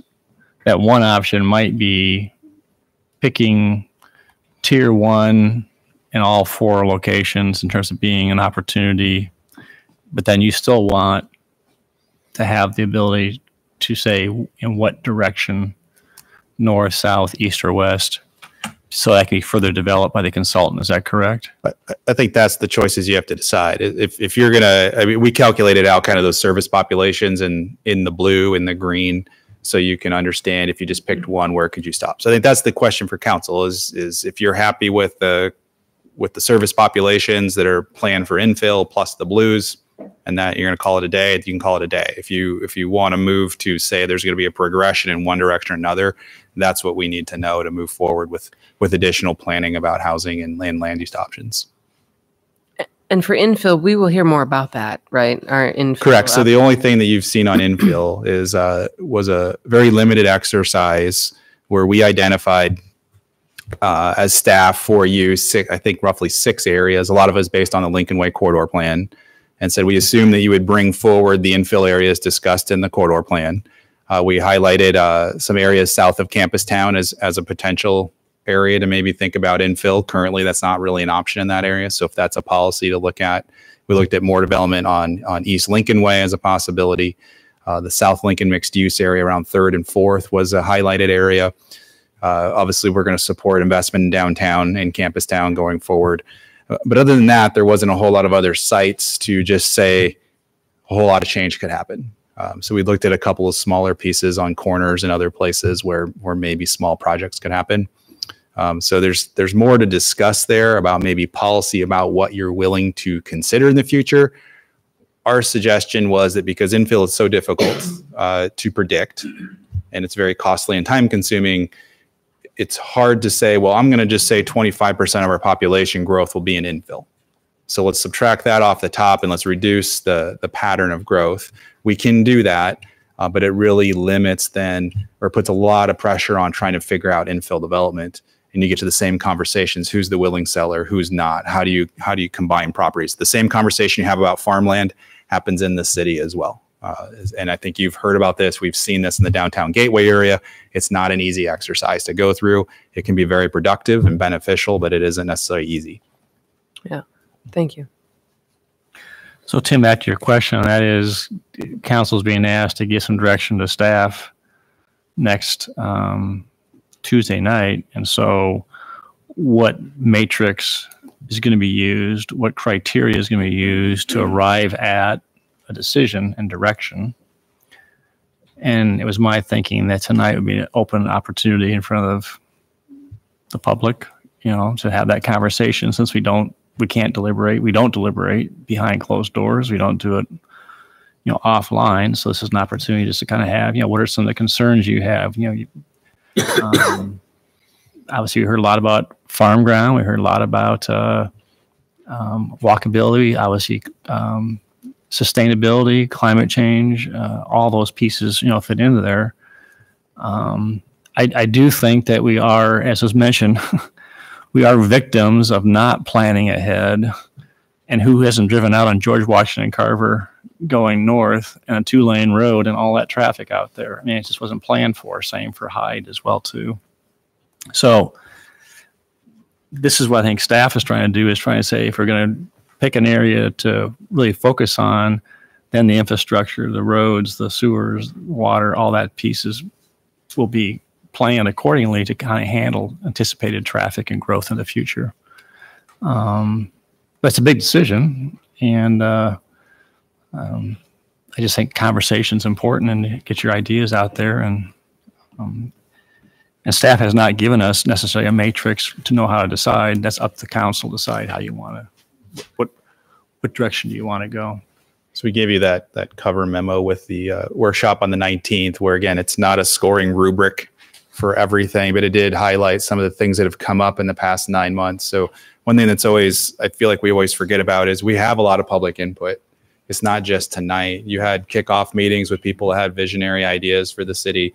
You've had people weigh in on the online commenting tool for the scenarios as well. So there's there's input that to be had, not just what's said tonight. And we've tried to distill that into that memo about different reasons that you might pick one over the other. There's not there's absolutely not one area that meets the the 10 different bullets that we put in there. Um, it's it's going to be a factor of what your priorities are. What's the vision for how we do things and where we do things? And just for public's information, everything that council gets is online. So if you're interested in looking at it, all you got to do is go to, I think it's mayor and city council. You can go down to the meetings um, So we- tab. it's simpler than that. Everything that we give you, we just put back on the Ames Plan 2040 uh, webpage. So you Oh, don't that's have right, to go. you're right, You don't have to go dig into the council meetings to find it. If you want to see the minutes, those are there. We don't post the minutes, but all of the presentation materials are on our page. So the memo that Kelley's referring to is available online. Yep, it's it's embedded in the presentation PDF that's out there. There's a lot of helpful information. If, if you've just come to this conversation, just know we've been at this for a while and you can come up to speed pretty quickly by um, going through some of those workshops and presentations that are on the website. You know, even though we've been at this for a while, there were a couple of things that came up tonight, which I am surprised I had not even considered. And those were specifically related to ag uses. Um, the, having grown up on a farm, I am aware of what it's like to live near intensive um, agricultural uses of various kinds. And yet, I had not been thinking at all in terms of what happens if we are near the poultry farm or the hog farm. The poultry farm used to be kitty corner to where my house is. It used to be where the Towers residence halls are. And so the poultry farm used to be right in town. And my husband still remembers all the complaints of the neighbors because of the smells from the poultry farm. And so it's somewhat amazing to me that we haven't actually heard about any of those potential negative agricultural impacts on a development into the Iowa State properties. And I am appalled that I didn't even consider that as I'm looking at this map, which has no agricultural smell associated with it, or noises, or slow farming implements, or anything else that's related to ag uses. And so that to me was something that I really appreciate people bringing forward because I do think that's something that needs to be factored into at least my thinking on where we grow.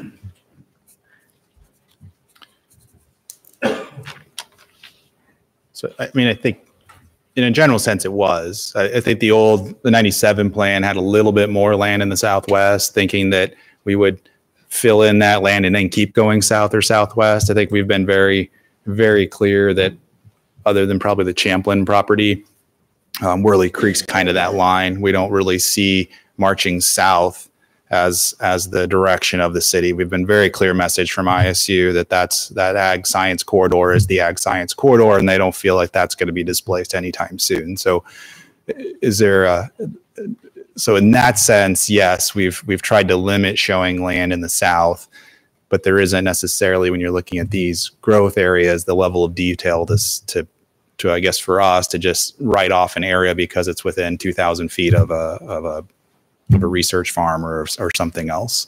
That's something we would have to hear back as you develop land use policies about whether that's really an area you would be interested in annexing if you don't think it's desirable for residential development. Mm-hmm.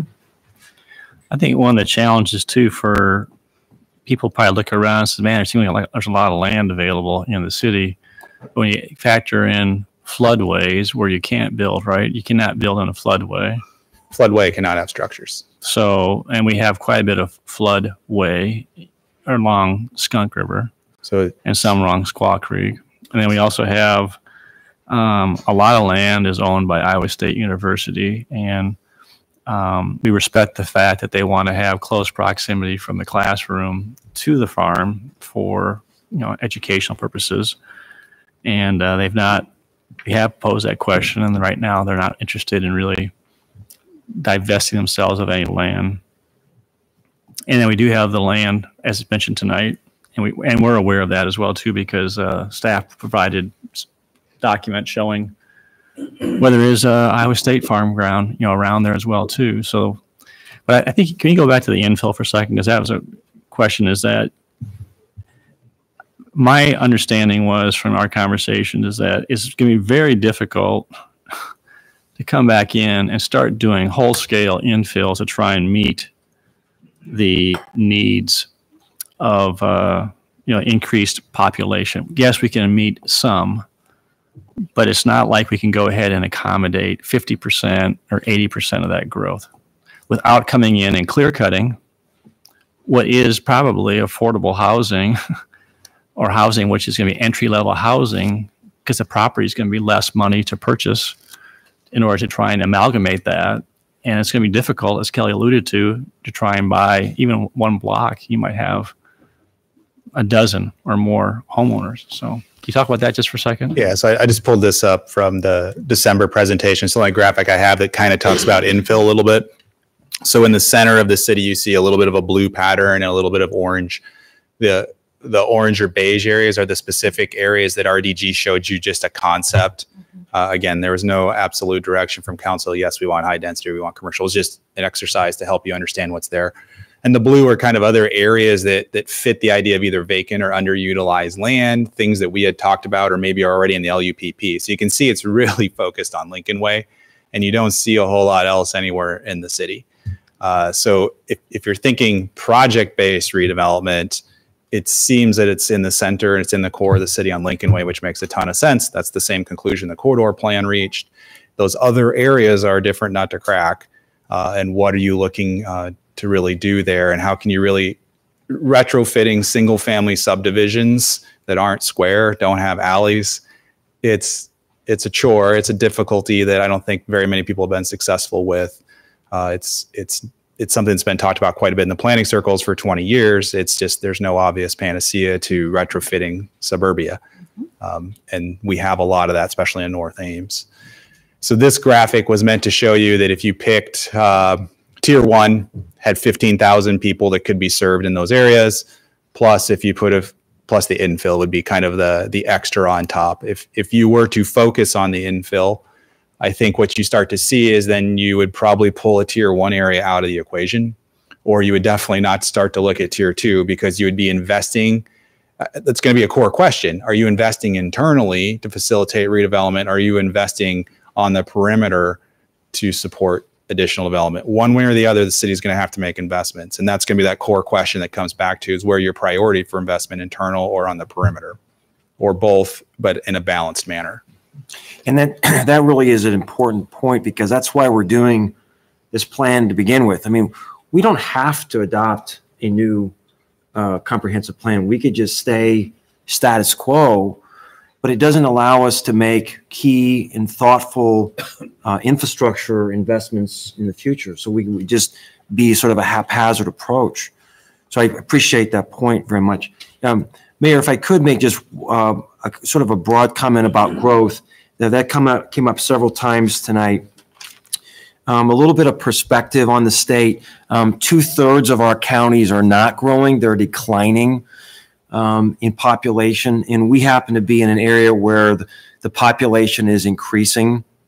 And so the question really isn't so much whether we're going to grow. The question in my mind is how are we going to do it? Are we going to do it in a responsible and a thoughtful manner?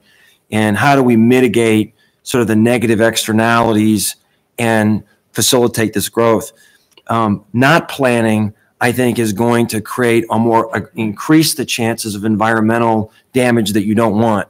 I think if we we plan thoughtfully, uh, we can better mitigate that. But um, I think I think that growth is going to happen. If if we said we're just going to put a, a ring around Ames and say though there shouldn't be any more growth, that's going to push uh, this population to other communities. They'll be happy to have the residents. It'll encourage um, rural subdivisions, which are harder for us to incorporate. So I, I'm not a huge fan of rural subdivisions in terms of the relationship with the city. So I'd, I'd rather plan for that increased growth um, within a, a thoughtful, comprehensive plan rather than in a haphazard fashion. Just general comments. Yeah, thank you. I mean, I tend to agree. I'm curious what we'll see more on infill because I mean, I think there's the project based infill concept where you have like a, a whole series of lots and you, you make something bigger there and it intensifies the density.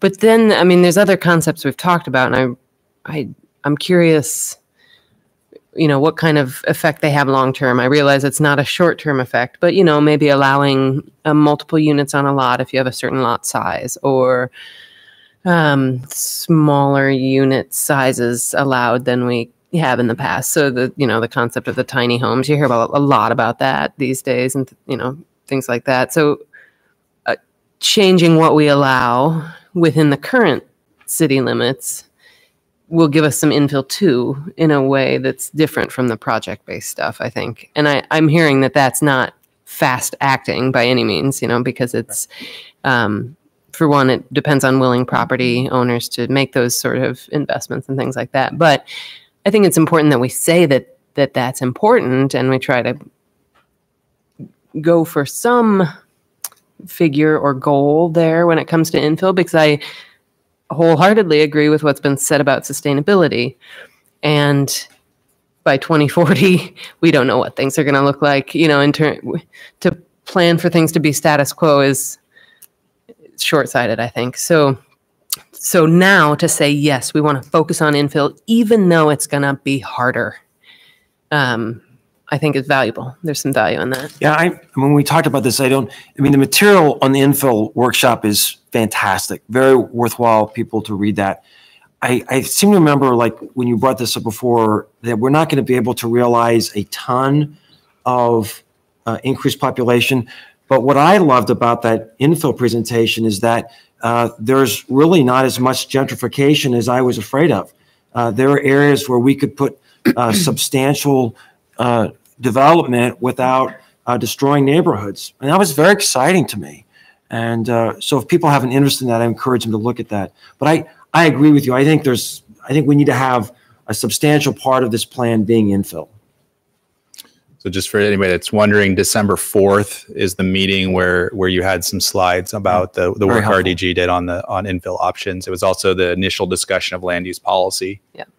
And those were kind of the more project based, uh, where you, Yeah, where you yeah. picked an area. They're, they're area based, yeah. Yeah. Uh, Just like the corridor plan, what we tried to do in the corridor plan was depict not that everything's a four or five story building everywhere. What are different ways to incorporate housing types? Uh, so some of those don't, or you wouldn't expect someone to acquire five properties to do. It might be one or two properties to do it versus something in downtown Gateway. We were talking about acquiring three or four acres to do a project. Yeah.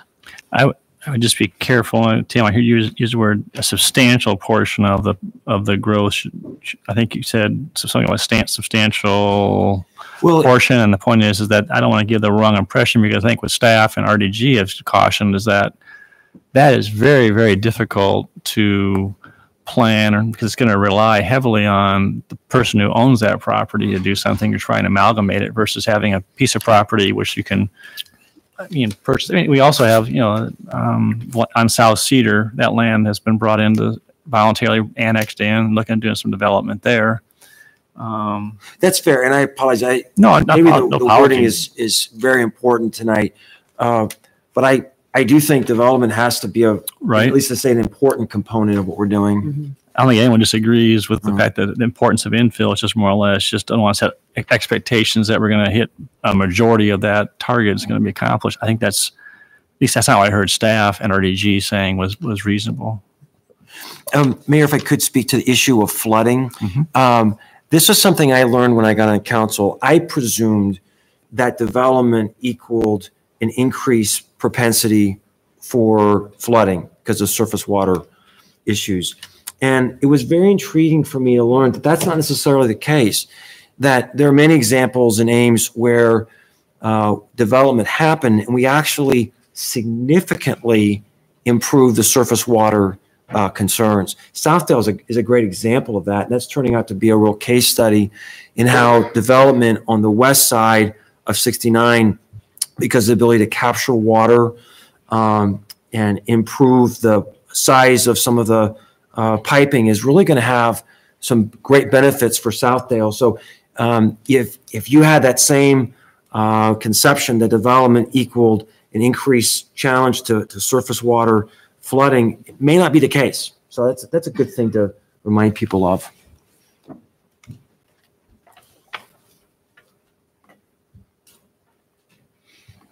So there, is there additional information that you need from staff or from the consultant to assist in digesting what we've heard tonight and going through and looking at these plans in order to come to a uh, recommendation? I mean, I think it's important that we obviously take what we've heard tonight, but also take the, I don't know, didn't the RDG say there were 300 or so comments that we've received Yep. And they're online? Memorialized in the. Yep, and uh, the, the public input documents being updated, we should, we should have that available for you by the end of the week. Okay. Uh, with, with that, so when you see it on the 14th, and that's just a rolling Right. document, started from February of last year, and every time we have a new kind of major addition, we, we have um, RDG update that and we republish it. Uh, one thing I want to talk about the floodplain, I think um, it was easier for planning staff and RDG in the growth areas. It's always easy when there's very little, th- few things in the way. Um, so we showed large greenways, right? We're we're going to respect the floodplain with new development. We're not going to uh, probably do some of the things that were done before. Uh, the harder things are going to be the questions you're going to have to deal with about about not the floodway, which you can't touch, but what about some of those fringe areas that already have in development along them? Uh, what other uh, properties might incrementally be beneficial to be developed to meet a commercial development goal or a housing goal, or maybe not because open space is more important than that. So, uh, so infill, we didn't touch the floodplain issue. That's something council will have to give direction on.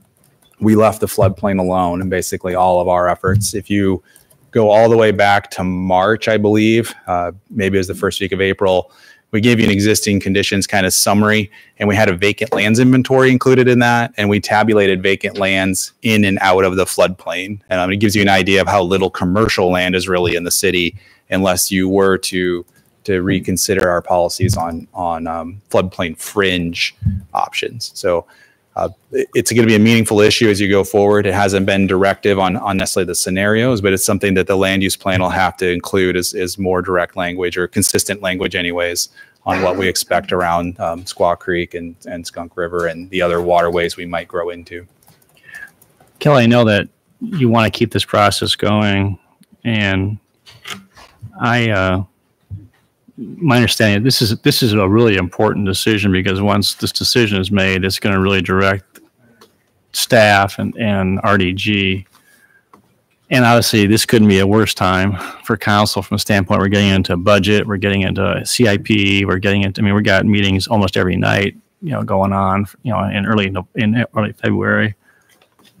Can you comment? I mean, if council talked about this further next Tuesday night, but just decided they just really aren't ready to make a decision, what would a two-week postponement or even a month postponement? 'cause I think, I think we, we all don't want to do what happened 19 years ago and make a decision and then find out six months later after it's been adopted that, oops, we start undoing it. We want to make sure it's, it's, we get it right and we have a good process. And, uh, you just comment on that? I'm not trying to put, a, I'm not trying to throw a monkey wrench into it, but I think that there's a lot, and you know, Councilman Martin um, is not here tonight. He's, he's going to watch the video, but uh, he had a plan, you know, time getting away. We, we dropped this meeting in so we could try and get public input, but there's just a lot here, and, and we're not, we're not. Uh, I don't think any of us are really experts in this area like you guys are. So, So I think, um, and, and Corey's here as well, if, if there's a specific question for RDG, but I, I think, uh, we obviously want you to be comfortable with the direction you give us because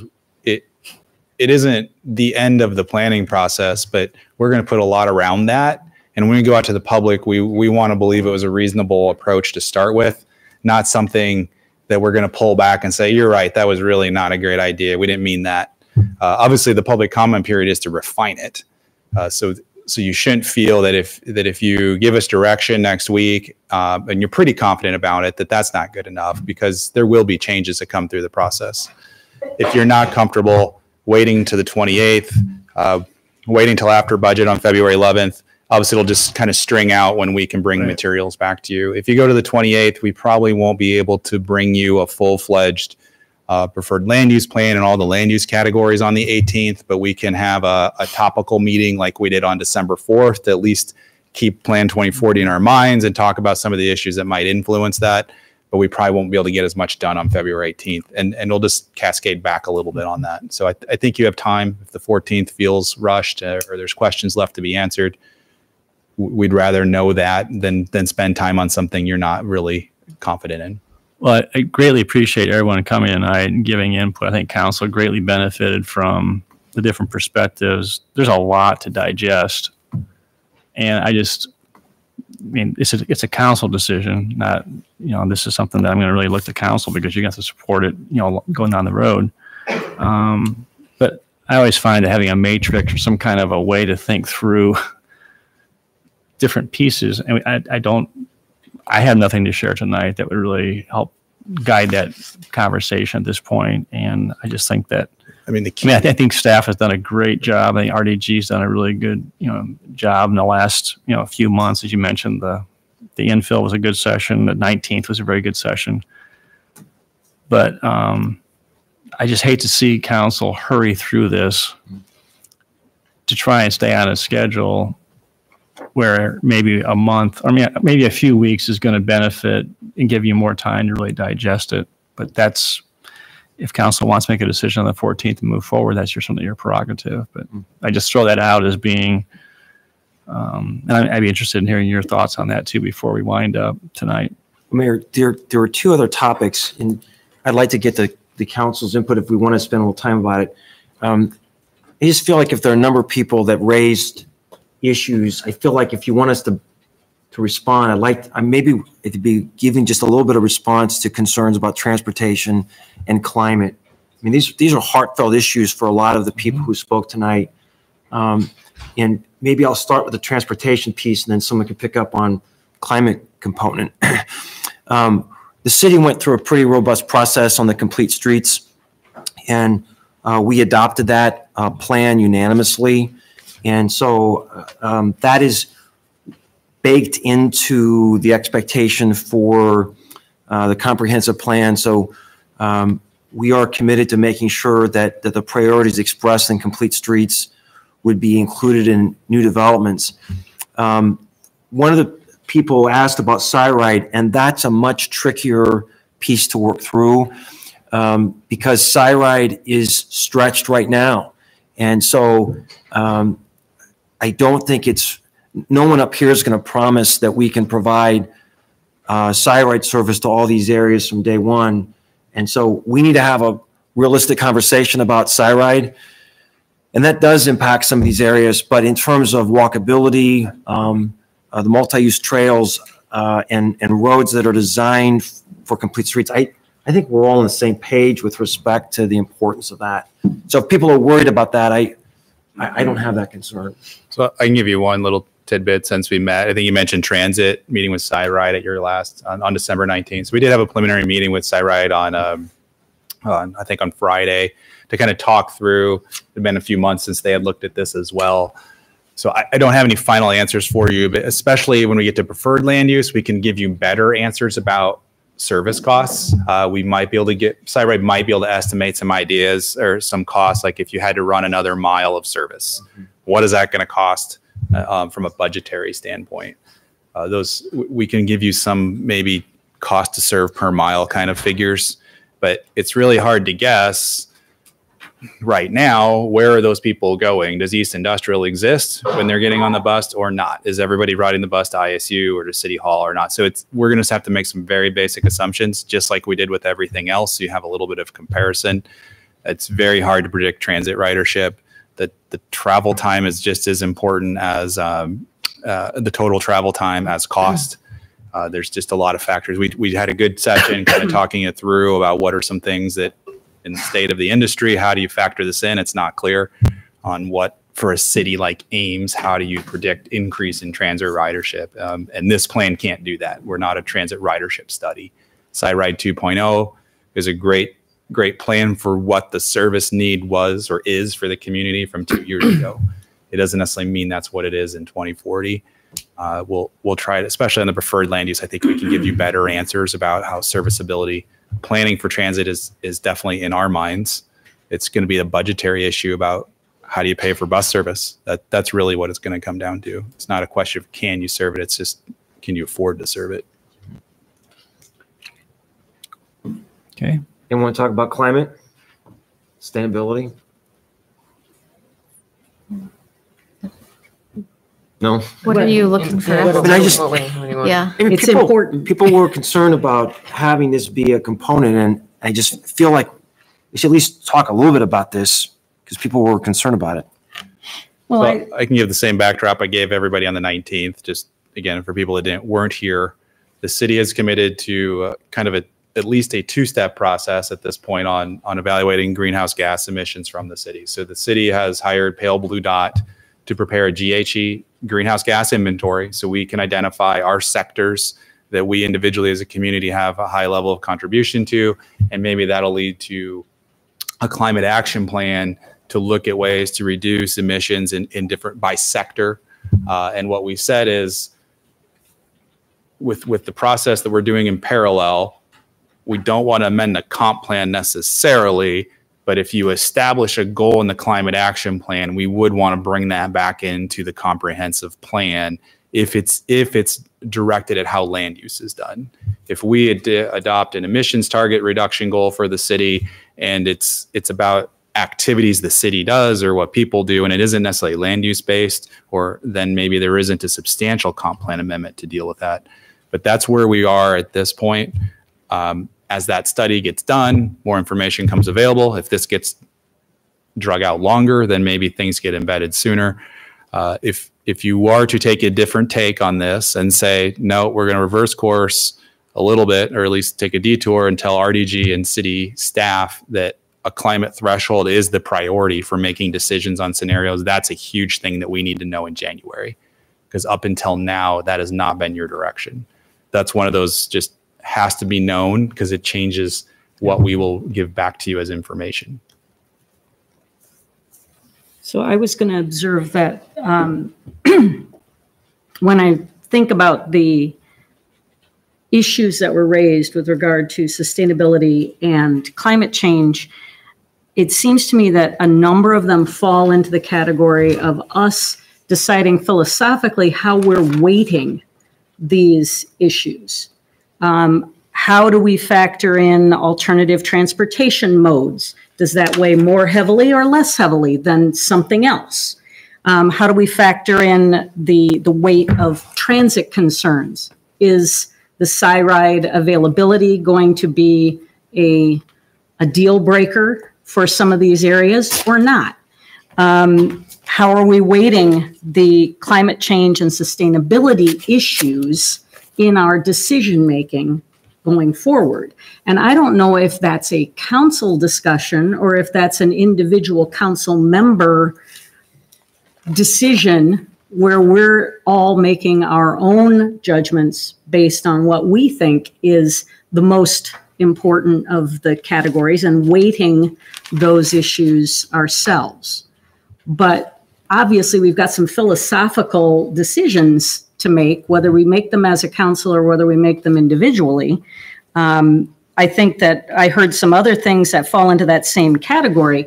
Um, do we value the retaining of the integrity of localities?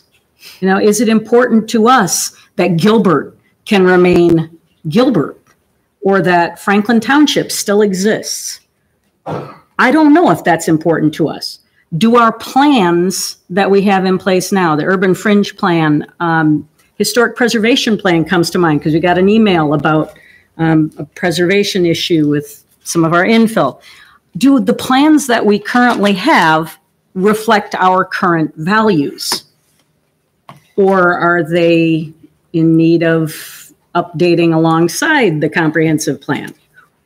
And I also heard some um, concerns about how the timing of a build out may impact people. So, for example, rural residents, if we can't do a build out um, to provide all of the services immediately, are we unnecessarily burdening them immediately with annexation and making them pay more when they aren't getting anything for, I don't know, 10 years? Or in that same category, how does, for example, the um, existence of an interchange or the building of that interchange and the timing of that building weigh into our decision making? Is it okay for us to expand to the south and say, we hope we're going to have an interchange on 35 at some point in the future, but we don't know when that'll be? Or do we say, well, no, we're going to go for things now? We weigh it more heavily that we already have the access, we already have the um, the tier one um, amenities and infrastructure and police and fire services and everything else. So all of those, I think, are things that we have to be considering, but I don't know whether we consider them together or not.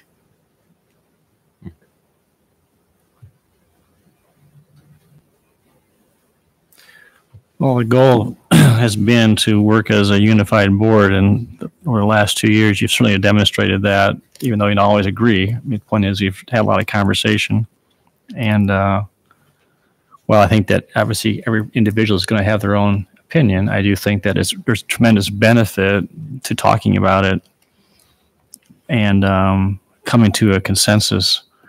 You know, as you move forward. Um, I hate to have you just come in and all start voting on things without having talked about it or coming to a unified, um, you know, consensus. You know, as a body, as a elected body, representative body. All right. Um, I had put down on the agenda public comment and follow up questions, but I think that's gonna. I think we had good public comment and follow up. I um.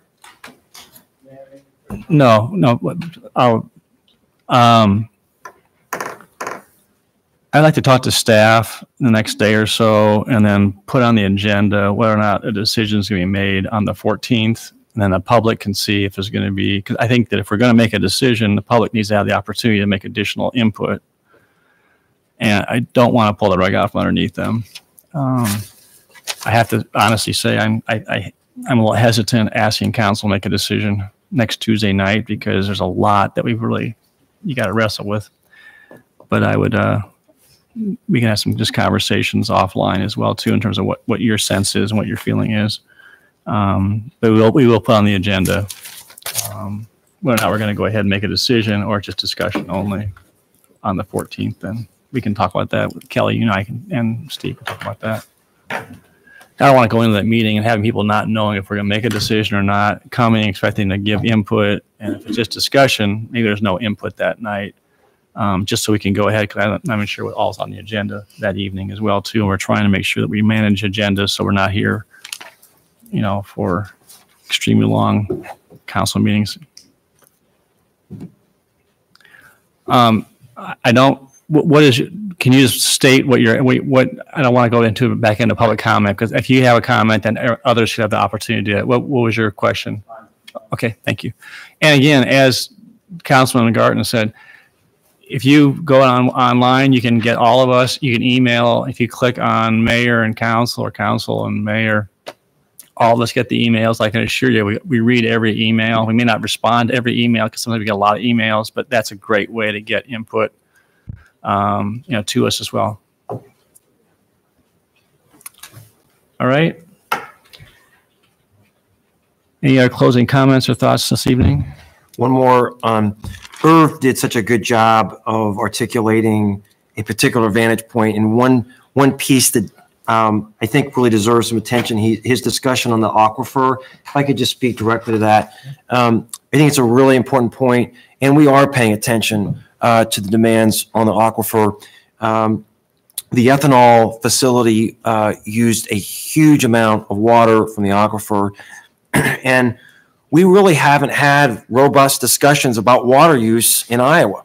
Uh, we've always sort of presumed that we've had abundant, unlimited water. Well, we don't. And so in other parts of the country, they have a more established um, approach to, to uh, water utilization. Um, I believe that there's uh, concern about bringing in a high volume water user in the eastern industrial area. Residential properties don't use a ton of water, even if you have multiple teenagers. It doesn't really add up to that much.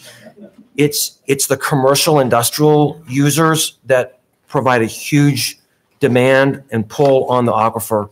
So we are being very sensitive to that. And so I, Irv, I appreciate your comment on that. Uh, it's a good reminder for us to keep that um, on our radar screen. So appreciate your comments tonight. And I do believe HDR is taking that into consideration too. Is that correct, Mhm. Kelley? I mean, that is not something which is being ignored. The water We're, we're taking our cues from WPC about Yes. telling us what the treatment plan has capacity for and, and their view of the resource. They have not said that we can't support 15,000 people with the aquifer. Right. Now, we're very cognizant of the East Industrial area about what its impacts are with a high user on treatment expansion as well as water line extensions. But as a, as a source, the 15,000 people and the economic development WPC is said is accommodatable at this point. Okay. All right. Let's move on to council comments. Gloria? I don't have any. Jim? Um, just briefly, I am blown away by the number of people who showed up tonight. Um, my fear was there would be like five or six people, and it would be really disappointing. You were wrong. Yeah, and yeah, and so you guys came. You very very thoughtful presentations. The conversation doesn't end here. But I just wanted to thank everybody for coming tonight. This just speaks volume for the kind of community we have, and so I know I speak for council just in extending our gratitude for people coming and everybody was very respectful and thoughtful and this is what make Ames Ames. So thanks for coming tonight. Rachel. Yeah, um, this is my first meeting, so I wanted to thank you all for coming out and giving so much input on the 2040 plan. Um, I want to make myself available to anyone if they want to meet with me or um, have anything they want me to hear as a new council member. I would be more than willing to set up those meetings and hear from people and continue these conversations. Uh, just to piggyback off of what Tim said, getting community feedback on this and really anything that we do is just so critically important. I think anytime I'm in front of a group speaking, I'm almost begging people to send us emails. Um, we do get a lot of emails, but we don't get nearly enough input from the community on things that are critically important to the future. Um, and so it's, I just can't stress enough how important it is that we hear from a broad cross section of the community on this and and other decisions that we're making. Nothing for me. All right. Well, I would, I'm not going to repeat what everyone else said. I- Thank you for coming. I appreciate that. And there are no dispositions of communications to council, so I entertain a motion to adjourn. Move to adjourn. We're adjourned.